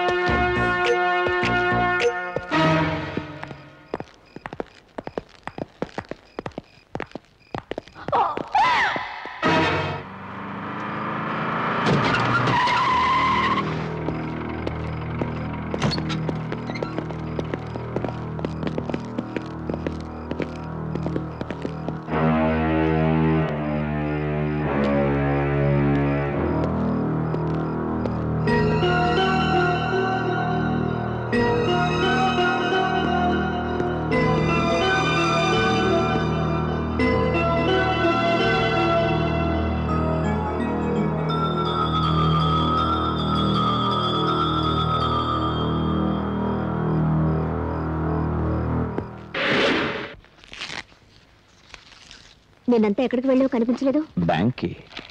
తర్వాత కొంచెం పర్చేసింగ్ ఇంకెక్కడికి వెళ్ళలేదు. చీకటి పడకముందే తిరిగి రావాలని చెప్పావు కదా. ఇక్కడ పేషెంట్స్ ఎవరిని బయటికి పంపించకూడదు. ప్రత్యేకంగా ఈ వార్డులో. నిన్న ఇక్కడికి తీసుకొచ్చినప్పుడు చెప్పలేనటువంటి వర్స్ట్ అయిన కండిషన్ బ్రతుకుతామన్న నమ్మకమే లేదు. అదృష్ట కొద్దీ ఇంత త్వరగా రికవర్ అయ్యావు. అదృష్టం. వీలైతే ఒక వారంలోపే డిశ్చార్జ్ చేస్తాం. తర్వాత ఏం చేద్దాం అనుకుంటున్నావు? ఈ సిటీలో నీకు శత్రువులు చాలా మంది ఉన్నారు. సుధాకర్ చెప్పారు. సేఫ్గా మరో చోటుకు మారడం మంచిదని.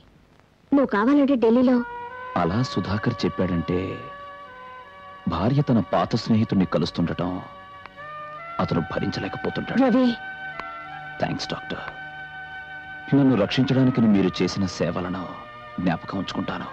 కానీ గతాన్ని మర్చిపోమంటూ నిర్బంధించొద్దు. జీవితంలో అంతా నష్టపోయిన వాడిని నేను.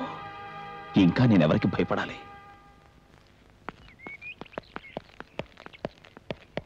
వెళ్ళొస్తానమ్మా. సరే. రాజా. ఏమిటి నాన్న?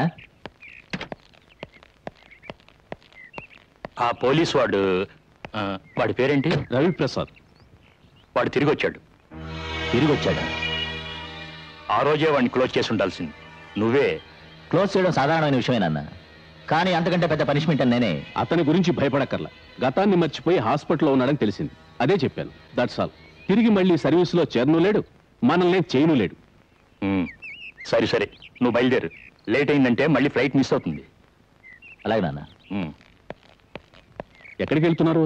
ఢిల్లీకి. వస్తానమ్మా మన. హోటల్ ఫారిన్ కొలాబరేషన్ విషయం మాట్లాడడానికి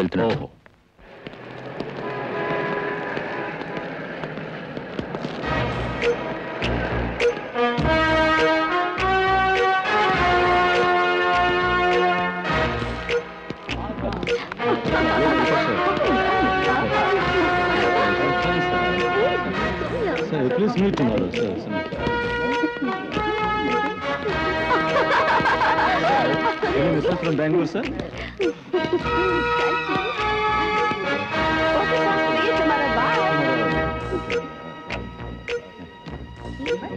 sir. It's all right.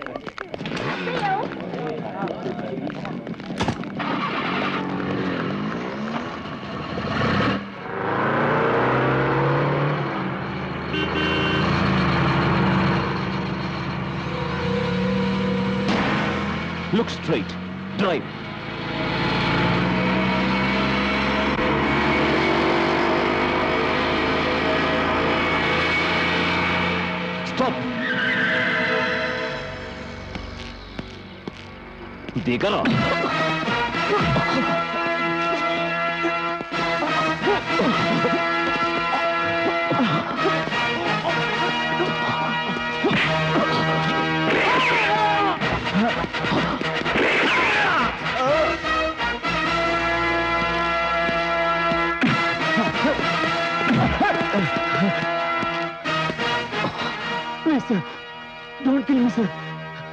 Petrol పోసి చంపిన వాళ్ళలో ఆ రోజు నువ్వు ఉన్నావు కదూ? చెప్పరా? ఉన్నాను. కానీ చంపింది సరుతు సార్. శరత్ ఎక్కడ? తెలియదు సార్. నాకు తెలుసు. వాడు చావలేదు. ఆ రోజు రైలు పట్టాలపై ఉన్న శవం వాడిది కాదు. అవునా? చెప్పరా? అవును. మరి ఇంకెవరిది? నిజం చెప్పలేదనుకో నిన్ను. అది రఘు శవం. ఏ రఘు? శరత్ వాళ్ళ డ్రైవర్ ఓ ఇందో కొడుకు. రఘు. గోవిందయ్య కొడుకు రఘు. శరత్కు బదులు అతన్ని చంపి పట్టాలపై వేశారు. కదూ?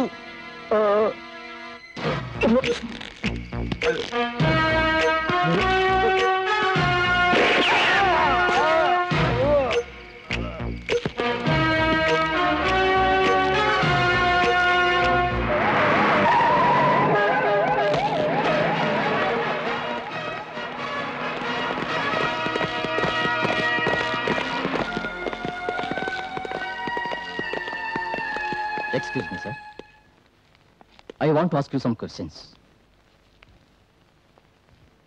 నిన్న రాత్రి మీరు ఎక్కడున్నారు సార్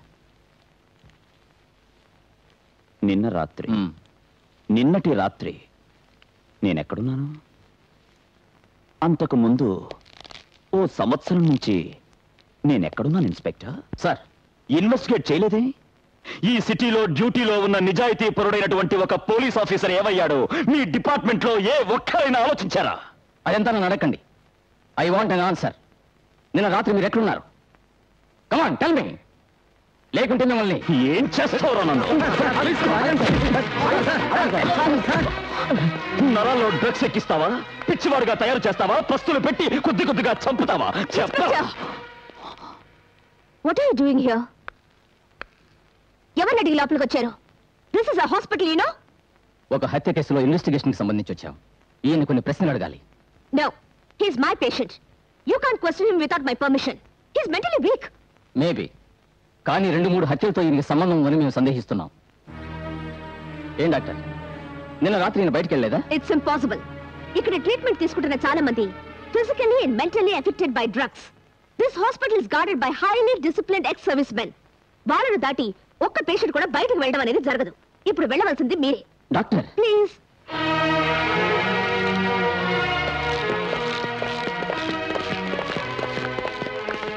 కొంచెం బయటకు వెళ్ళండి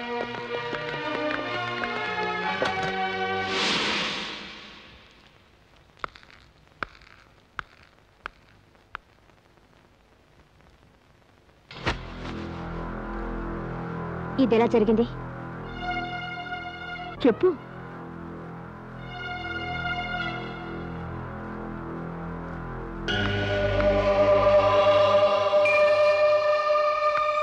ఏమిటివి? నాకు అర్థమైంది. నిన్న రాత్రి నువ్వు తప్పించుకొని వెళ్ళావు. నువ్వు చెప్పకపోయినా ఇవి చెప్తున్నాయి. నీ చేతి మీద గాయం వీటి కట్టుకున్న బురద. చెప్పు. పోలీసులు వెతుకుతున్న హంతకుడివి నువ్వే కదూ? Yes Ravi. How can you do that ఇప్పటికే జీవోత్సవాన్ని నేను నడి బజారులో హీనాత హీనంగా మానభంగం చేయబడిన మా వదిన కళ్ళ ముందే ఆత్మహత్య చేసుకున్న అన్నయ్య. ఇప్పుడు నువ్వు కూడా పట్టుదలకపోతుంటే రవి వద్దు రవి. ఈ స్థితిలో మరి నన్ను ఏం చేయమంటావో చెప్పు. జరిగిందంతా మర్చిపోయి బతకడం కంటే ఓ పిచ్చివాడ్ల వీధుల్లో తిరిగిన నా పాత జీవితానికే నన్ను మళ్ళీ తీసుకుపో.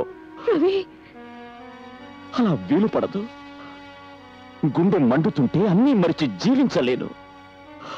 Do know how much I suffered how much they torture me వాళ్ళని విడిచిపెట్టి చేతకాని వాళ్ళ చేతులు కట్టుకుని కూర్చోలేను. అంతా తెలిసిన తర్వాత ఒక హంతకుడి హాస్పిటల్ ఉండడానికి నేను ఒప్పుకోకపోతే? అవసరం లేదు. నీకు ఈ హాస్పిటల్కి నా వల్ల ఏ చెడ్డ పేరు రాదు. సీ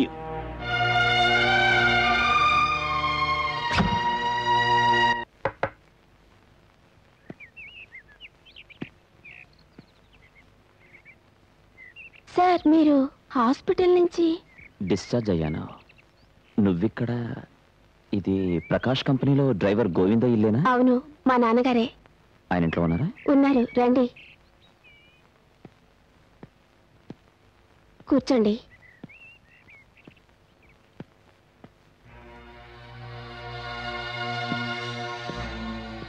ఇతను మీ బ్రదరా? అవును. రఘు కదా? ఇప్పుడు ఎక్కడున్నాడు దుబాయ్లో. ఎవరమ్మా అది? రవి గారు వచ్చారు. అతను ఇప్పుడు ఏం చేస్తున్నాడు? నాన్నగారు యజమాని దగ్గర ఒక టెక్స్టైల్ షోరూమ్లో ఉద్యోగం. నాన్న ఈయన ఎందుకు తెలియదు ఇక్కడ పోలీస్ ఆఫీసర్గా ఉంటున్నారు కదా? అవునా.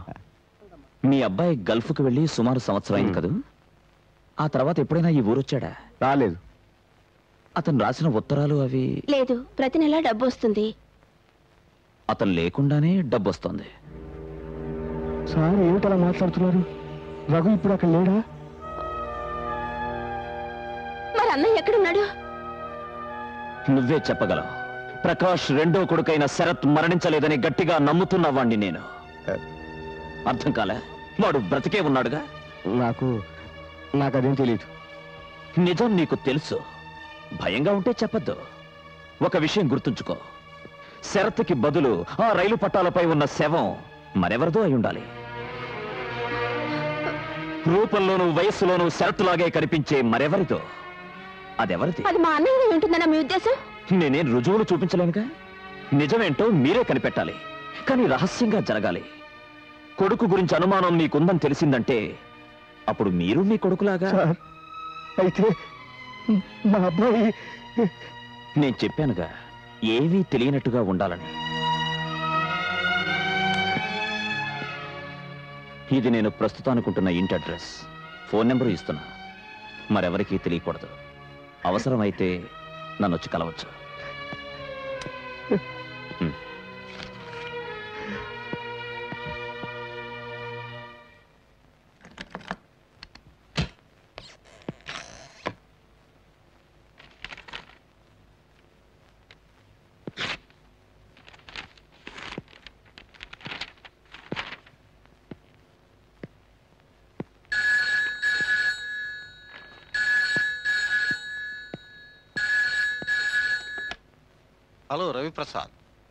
ఆ కవర్ చింపి చదవండి. మీకేం కావాలి? అది పర్సనల్గా చెప్పాల్సిన విషయం. కొంచెం రోడ్డు వైపు చూడు. అక్కడ వ్యాన్ నిలబడి ఉంది TN zero one E zero four zero three please come.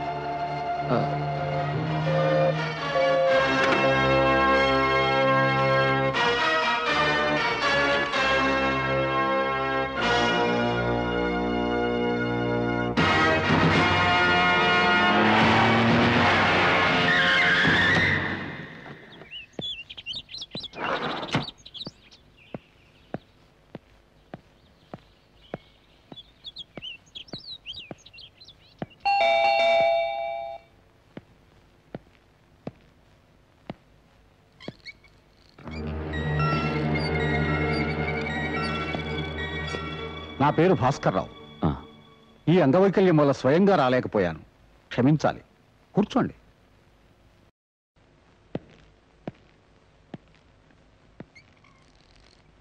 నేను కువైట్లో ఉండేవాణ్ణి. ఒక మోస్తరు బిజినెస్. అది పెరిగింది. సంపాదించాను. భార్య చనిపోయాక ఒక గానొక్క కూతురుతో ఇక్కడికి వచ్చాను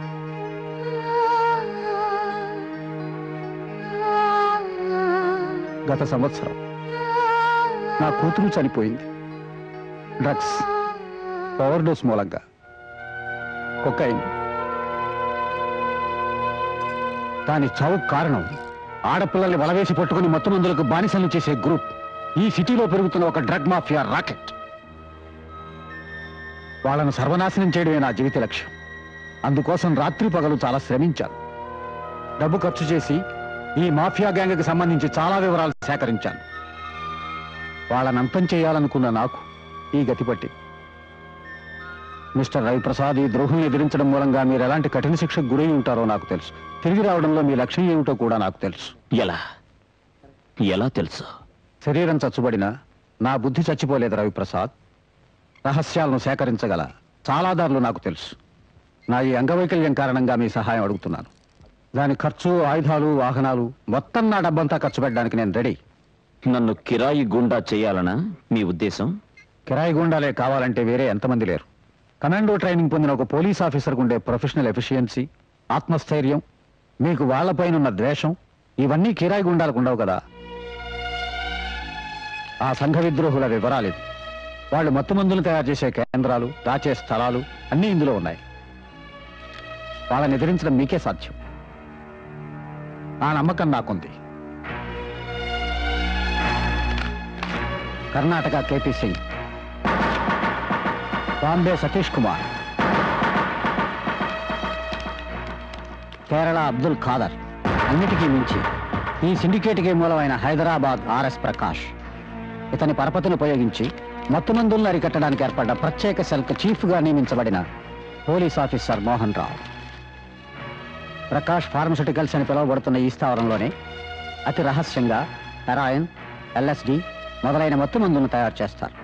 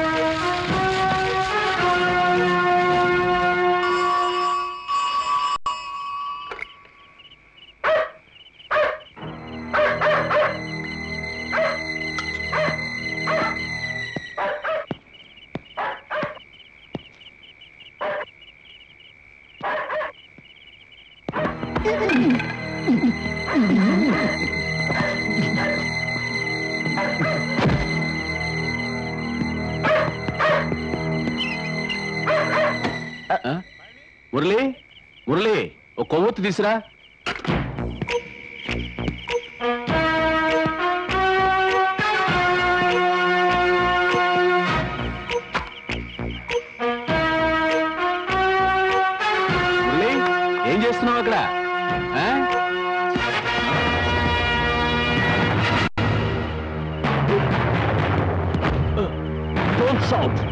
I will kill you. Take the phone. Quick. ఆ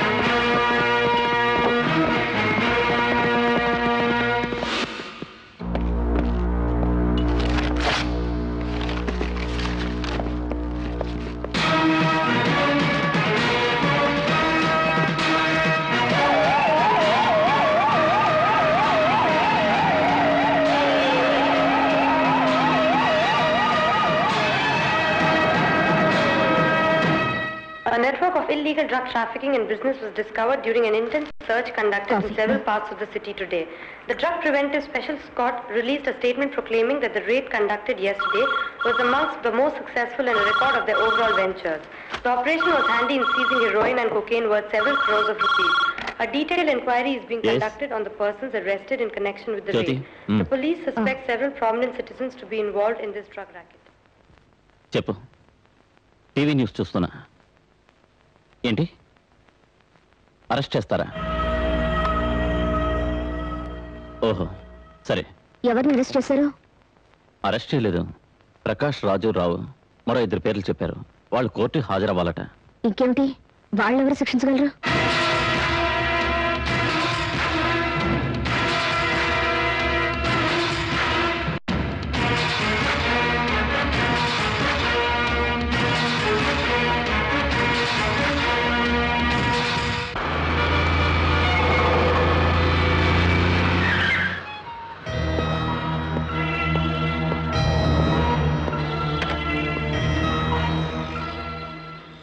ఏ కారణం చేత కూడా ఇంటికి రావద్దని చెప్పడం వల్ల రాలేకపోయాను.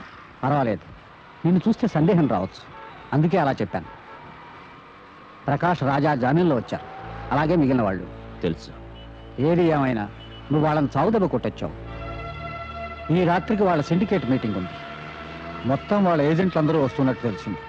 నీ శత్రువులను ఎదిరించడానికి అవసరమైనవన్నీ ఇందులో ఉన్నాయి.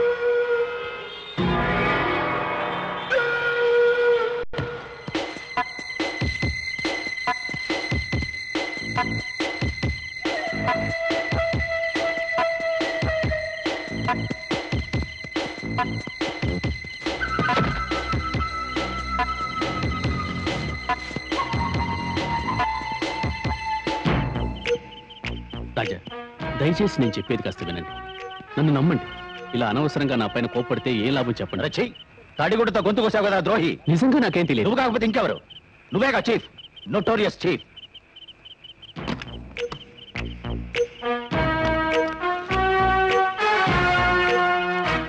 సార్ మీకు ఎన్ని సహాయాలు చేశాను ఇంక్లూడింగ్ బ్రూటర్ మర్డర్స్. నో అవన్నీ సరేనయ్యా. ఇలా ఎందుకు జరిగిందనే చెప్పు. లేకపోతే నిన్ను. Stop it. Stop it. అర్థం లేకుండా గొడవ పడకండి.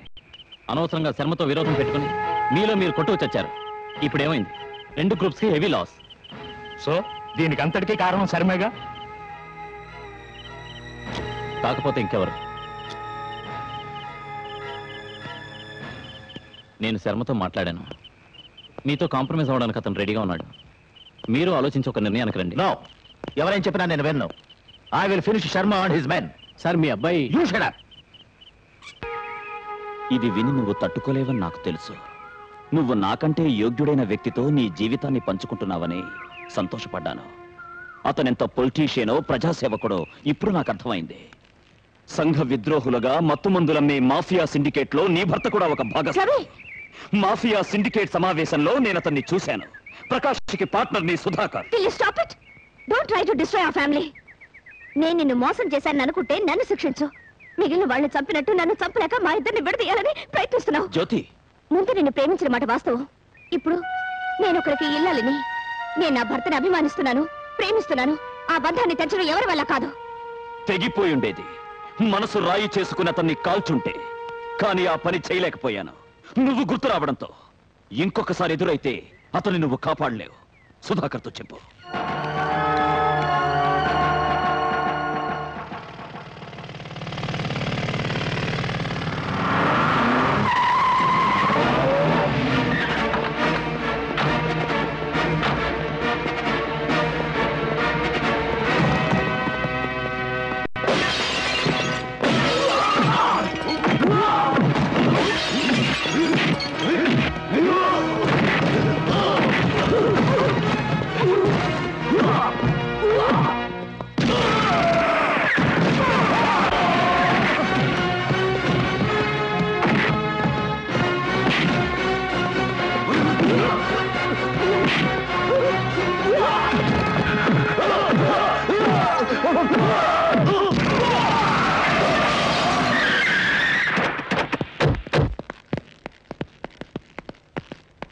Sir, Mr. Sudhakar, look what your Prakash has done. Please mister Sharma don't उसने तो मेरा ऑफिस गोडाउन सबको तोड़ फोड़ कर रखे सत्यानाश कर दिया not only that they have brutally beaten up my people mister Sharma don't talk all this things here మీరు చెప్పడం వల్లే గానీ లేదంటే ప్రకాష్ ని రాజాని ఈ పాటికి లేపేసి ఉండేవాళ్ళు ఈ గొడవలు పడొద్దని మీరు చెప్పిన మాట మేము విన్నాం కానీ వాళ్ళు వింటాం లేదే నా మాట మీరు మాత్రం వింటున్నారా ప్రకాష్ ని పోలీసులు పట్టించడానికి అతను గౌడౌన్స్ ని రైడ్ చేయించింది మీరేగా upon God believe me mister Sudhakar मुझे कुछ मालूम नहीं I don't know anything then who has done it how do I know sir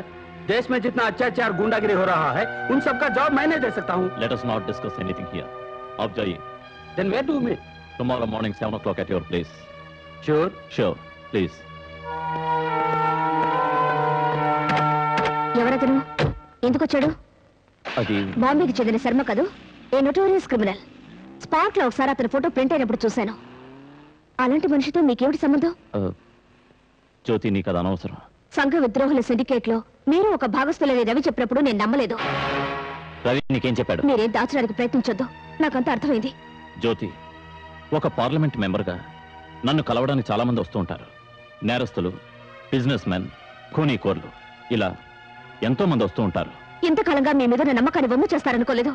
ఆదర్శవంతుడైన ప్రజానాయకులని గౌరవం పెంచుకున్న నన్ను మీరు మోసం చేశారు. Stop it. నా మీద నువ్వు పెంచుకున్న గౌరవానికి ఇప్పుడు వచ్చిన నష్టమేమీ లేదు. వ్యక్తిగతంగా నేను ఎప్పుడూ ఆదర్శవంతుణ్ణి. ఈ సంఘ విద్రోహులతో నేను సంబంధం పెట్టుకున్నది కేవలం పార్టీ ఆదేశానుసారమే. బాధ్యత గల పార్టీ కార్యకర్తగా పార్టీ నిర్ణయాలను నేను శిరసావహించాలి అదే నేను చేస్తున్నాను. ఒక ప్రజానాయకుడి ధర్మం జనానికి మేలు చేయడమేనన్నది మర్చిపోకూడదు. కోర్స్ ఇన్నాళ్ళు చేస్తున్నది అదే. కానీ ఈ జనం అధిష్టాన వర్గం నన్ను గుర్తించడం లేదు.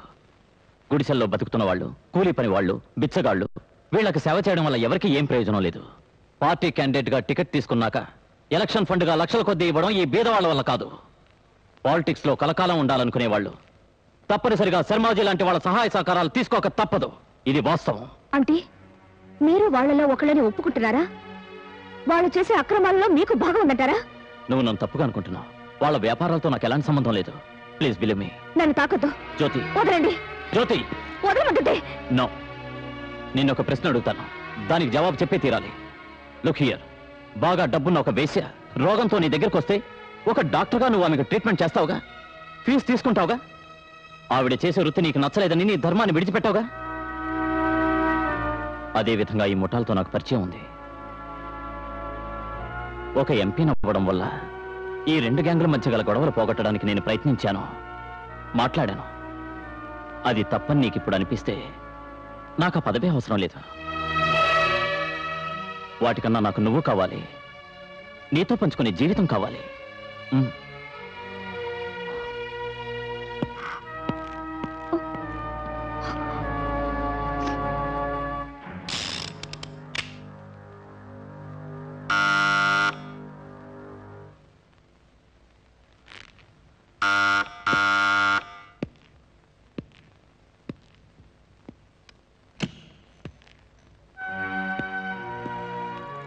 అయ్యగారిని మా అబ్బాయి గురించి నేను అడిగినప్పుడు అతనెవరో తెలియనట్టుగా ప్రవర్తించాడు. నా బిడ్డతో ఫోన్లోనైనా పర్వాలేదు ఒక్కసారి మాట్లాడించమన్నప్పుడు అది కూడా పట్టించుకోలేదు. ఇవన్నీ జరిగాక ఇప్పుడు నాకు అర్థమైంది. మీరు చెప్పిందే నిజం. నా బిడ్డలు వాళ్ళు నేను ఇప్పుడు వచ్చింది మీతో ఒక విషయం చెప్పాలని. మా యజమాని గారు అబ్బాయి శరత్ ఈ రోజే వస్తున్నాడు దుబాయ్ నుంచి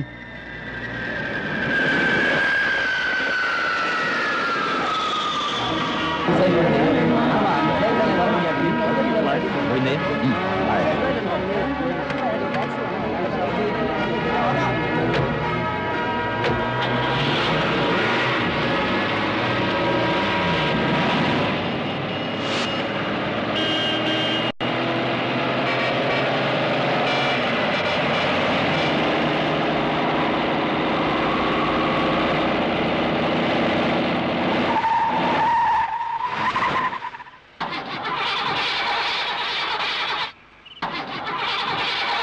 ఏమైంది గోవిందయ్య ఏమైందో తెలియటం లేదు. చూస్తాను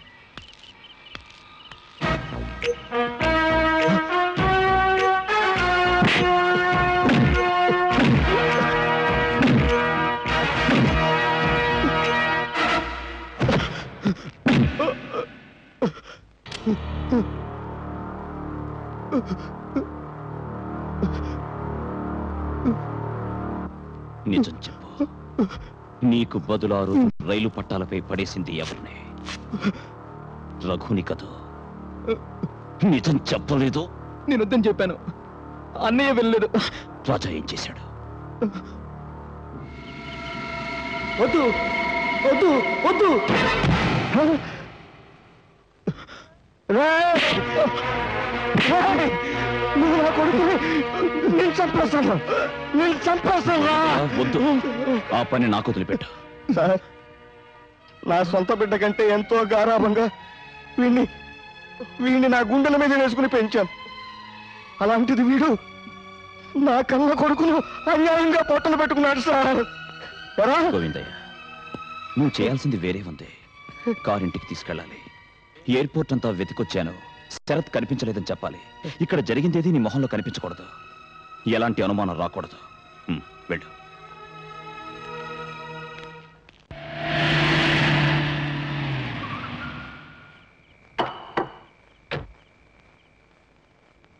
ఇప్పటిదాకా ఎయిర్పోర్ట్లోనే ఉన్నానండి. విమానం దిగిన వాళ్ళంతా వెళ్ళిపోయారు. బాబు రాలేదు. ఫ్లైట్లో బయలుదేరుతున్నట్టు చెప్పాడే. రాజా నువ్వు ఒకసారి ఫోన్ చేయి.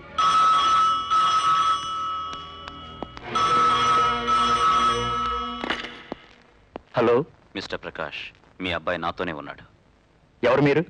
గల్ఫ్లో భాయ్ బిజినెస్ పార్ట్నర్ని నేను. శరత్తో నేను ఇద్దరం కలిసే వచ్చాను అనుమానం రాకూడదని నా కారులో తీసుకెళ్ళాను. ఒంటి గంట లోపల ఇద్దరం అక్కడ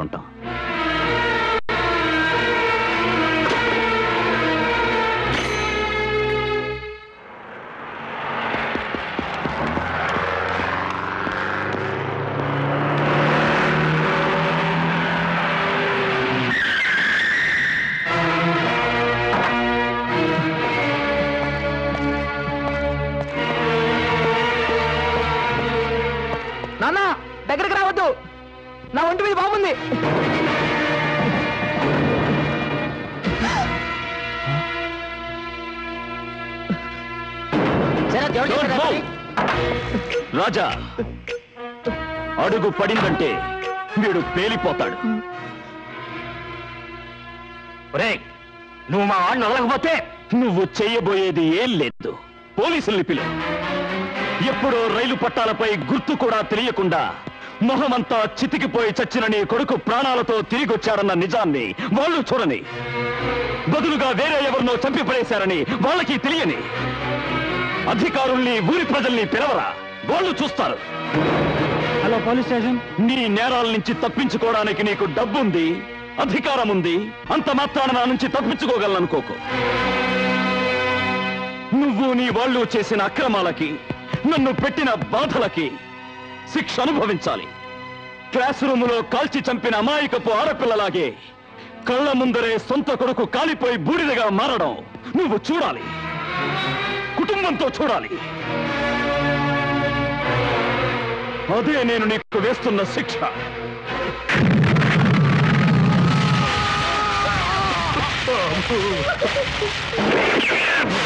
ఆ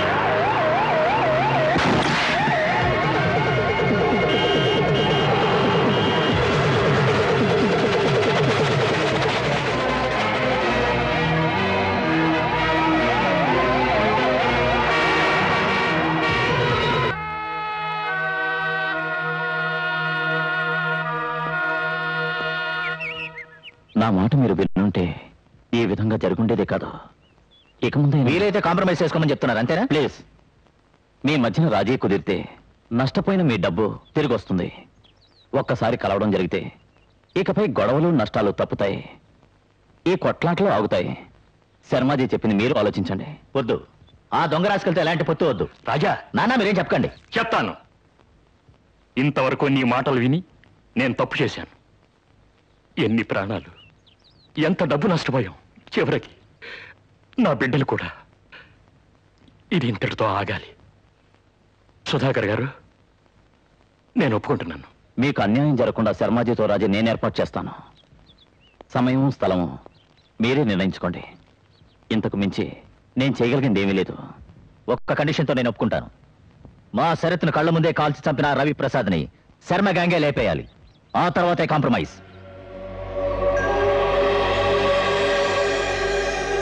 హలో. హలో భాస్కర్రావు గారికి ఇవ్వండి. ఎస్. నేను రవిని. ఇంతవరకు ఏం చేస్తున్నారు? మీ కాల్ గురించి నేను ఎదురు చూస్తున్నాను. సార్ పోలీసులు నన్ను వాళ్ళ కళ్ళ పడకుండా తప్పించుకునే మార్గం వెతుకుతున్నాను. మీరు ఎక్కడి నుంచి మాట్లాడుతున్నారు? పబ్లిక్ గార్డెన్స్ దగ్గర ఉన్న టెలిఫోన్ బూత్ నుంచి. నేను కారు పంపిస్తాను. వద్దు సార్ నేను నా కారులో అక్కడికి వస్తాను. అది అపాయకరం. మీ కారును పోలీసులు గుర్తుపడతారు. మీరు అక్కడే వెయిట్ చేయండి. నేను వెంటనే కారు పంపిస్తాను. Okay sir.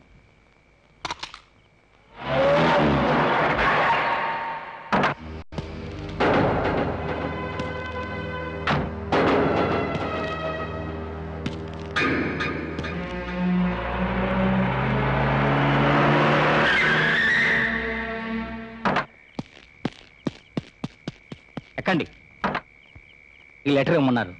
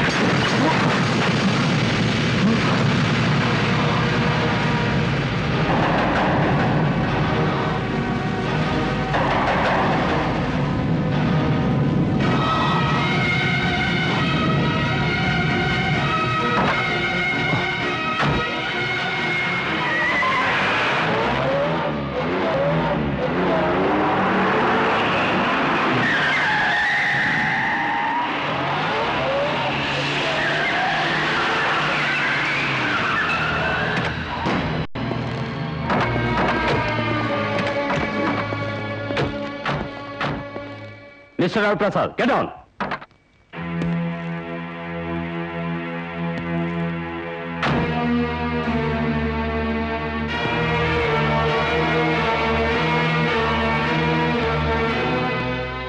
Mahadevan को ढूंढ रहा था ना is here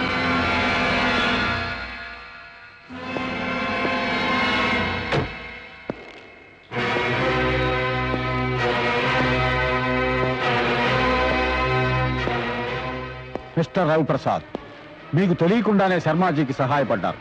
అందుకు థ్యాంక్స్ ఇక మీరు ఈ గొడవలు ఆపేయాలని ప్రకాష్ శర్మాజీల గ్రూపులు ఒకటిగా కలిసిపోవాలని నిర్ణయానికి వచ్చారు. దానికి మిమ్మల్ని బరికోరారు చీట్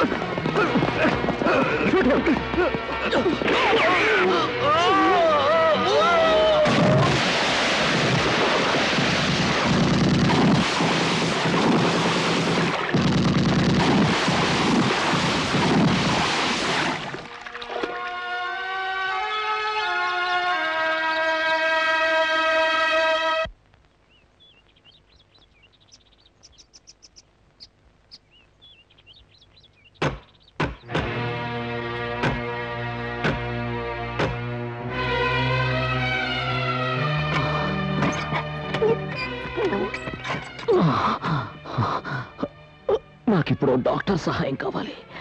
నమ్మకంతో వేరే డాక్టర్ దగ్గరికి వెళ్ళలేను. వాళ్ళు నన్ను పోలీసులకు పట్టివచ్చు కావాలనుకుంటే నీ చేతుల్లో పట్టుబడతాను. లేదంటే ఈ షెల్ కొంచెం తీసి.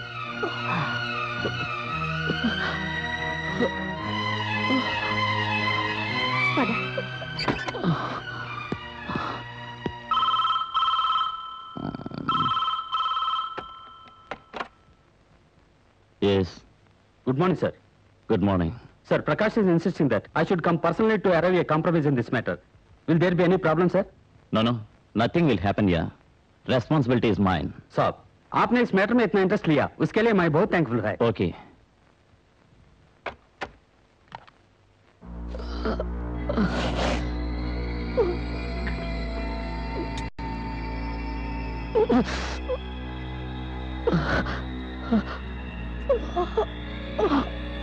Oh.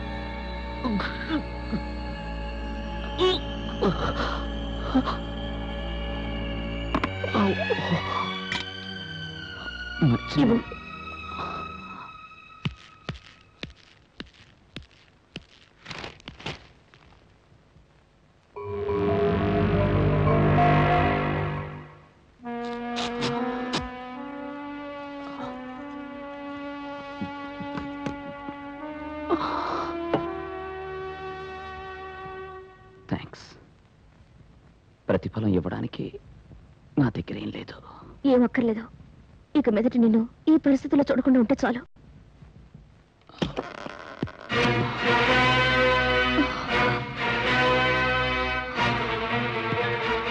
నేను నిన్నేం చేయను. నిర్దాక్షిణ్యంగా హత్యలు చేసి తప్పించుకుంటున్న నిన్ను పోలీసులు పట్టివాల్సిన బాధ్యత ప్రజాప్రతినిధిగా నాకుంది. కమాన్ కమాన్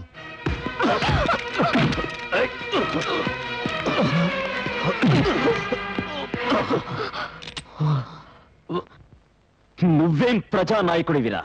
మనుషుల రక్తం తాగే మృగానివి నువ్వు. పాల మనసుల్లాంటి యువత బుద్ధిని శక్తిని హరించి నాశనం చేసే మత్తు మందులమ్మే గుంటరక్కల ఏజెంటివి నువ్వు. తీవ్రవాదులు వర్గ పోరాటస్తులు కాదురా. నీలాంటి వాళ్ళేరా ఈ దేశానికి బద్ధ శత్రువులు. ఒకనాడు నిన్ను క్షమించొదిలేశాను ఇక లాభం లేదు. నువ్వేం చేస్తున్నావో నీకు తెలుసా? జ్యోతి వద్దు. అతను ఏం చేస్తే చేయని. అతను చెప్పేది నిజం.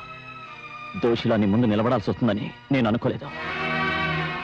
కానీ ఈ నిజం నీకు తెలిసిన తర్వాత జీవించడం నాకు అసలు ఇష్టం లేదు. ఈ డ్రగ్ ర్యాకెట్లో నేను ఒక పార్ట్నర్ని. కోట్లు కూడబెట్టాలని వాళ్ళతో కలవలేదు. ఈ దారిలో నడుస్తున్నది ఇష్టపడి కాదు. కానీ తప్పించుకోవడానికి వేరే దారి లేదు. There is only one way in this business only entrance no exit నన్ను చంపడం వల్ల వీటన్నిటికీ పరిష్కారం దొరుకుతుందని నువ్వు అనుకుంటే. Do it come on kill me నన్ను శర్మను ప్రకాష్ను చంపడమే. దీనికి పరిష్కారం అని నువ్వు అనుకుంటున్నావేమో. ఒక సైకిల్ చైన్లో వేరు వేరు లింకులు శర్మాజీ ప్రకాష్ లాంటి వాళ్ళు. ఆ రెండు లింకులు ఒకటి కాబోతున్నాయి. ఇక వాళ్ళను గెలవడం ఎవరి వల్ల కాదు. వాళ్ళను ఎదిరించి ఒంటరిగా పోరాడే నువ్వు మూర్ఖుడివి. నేను తలుచుకుంటే నేను ఎప్పుడో వాళ్ళకి అప్పగించి ఉండేవాడిని నువ్వు హాస్పిటల్లో ఉన్నప్పుడు లేదంటే మరెప్పుడైనా. కానీ నీ కథ తెలుసుకున్నాక పని చేయలేకపోయాను. ఇప్పుడైనా సరే. పారిపో.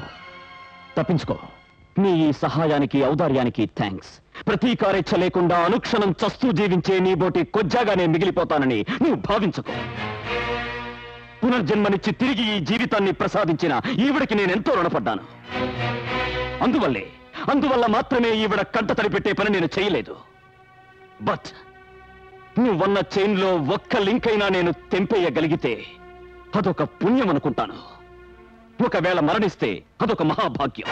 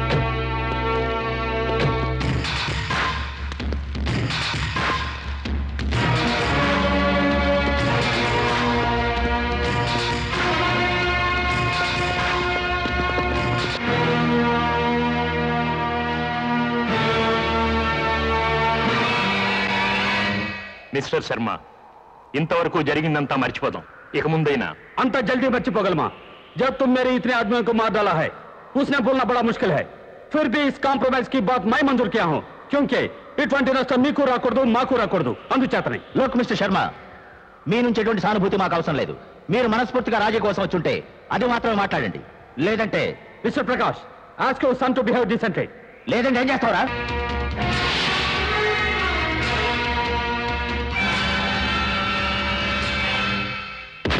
Hurrah!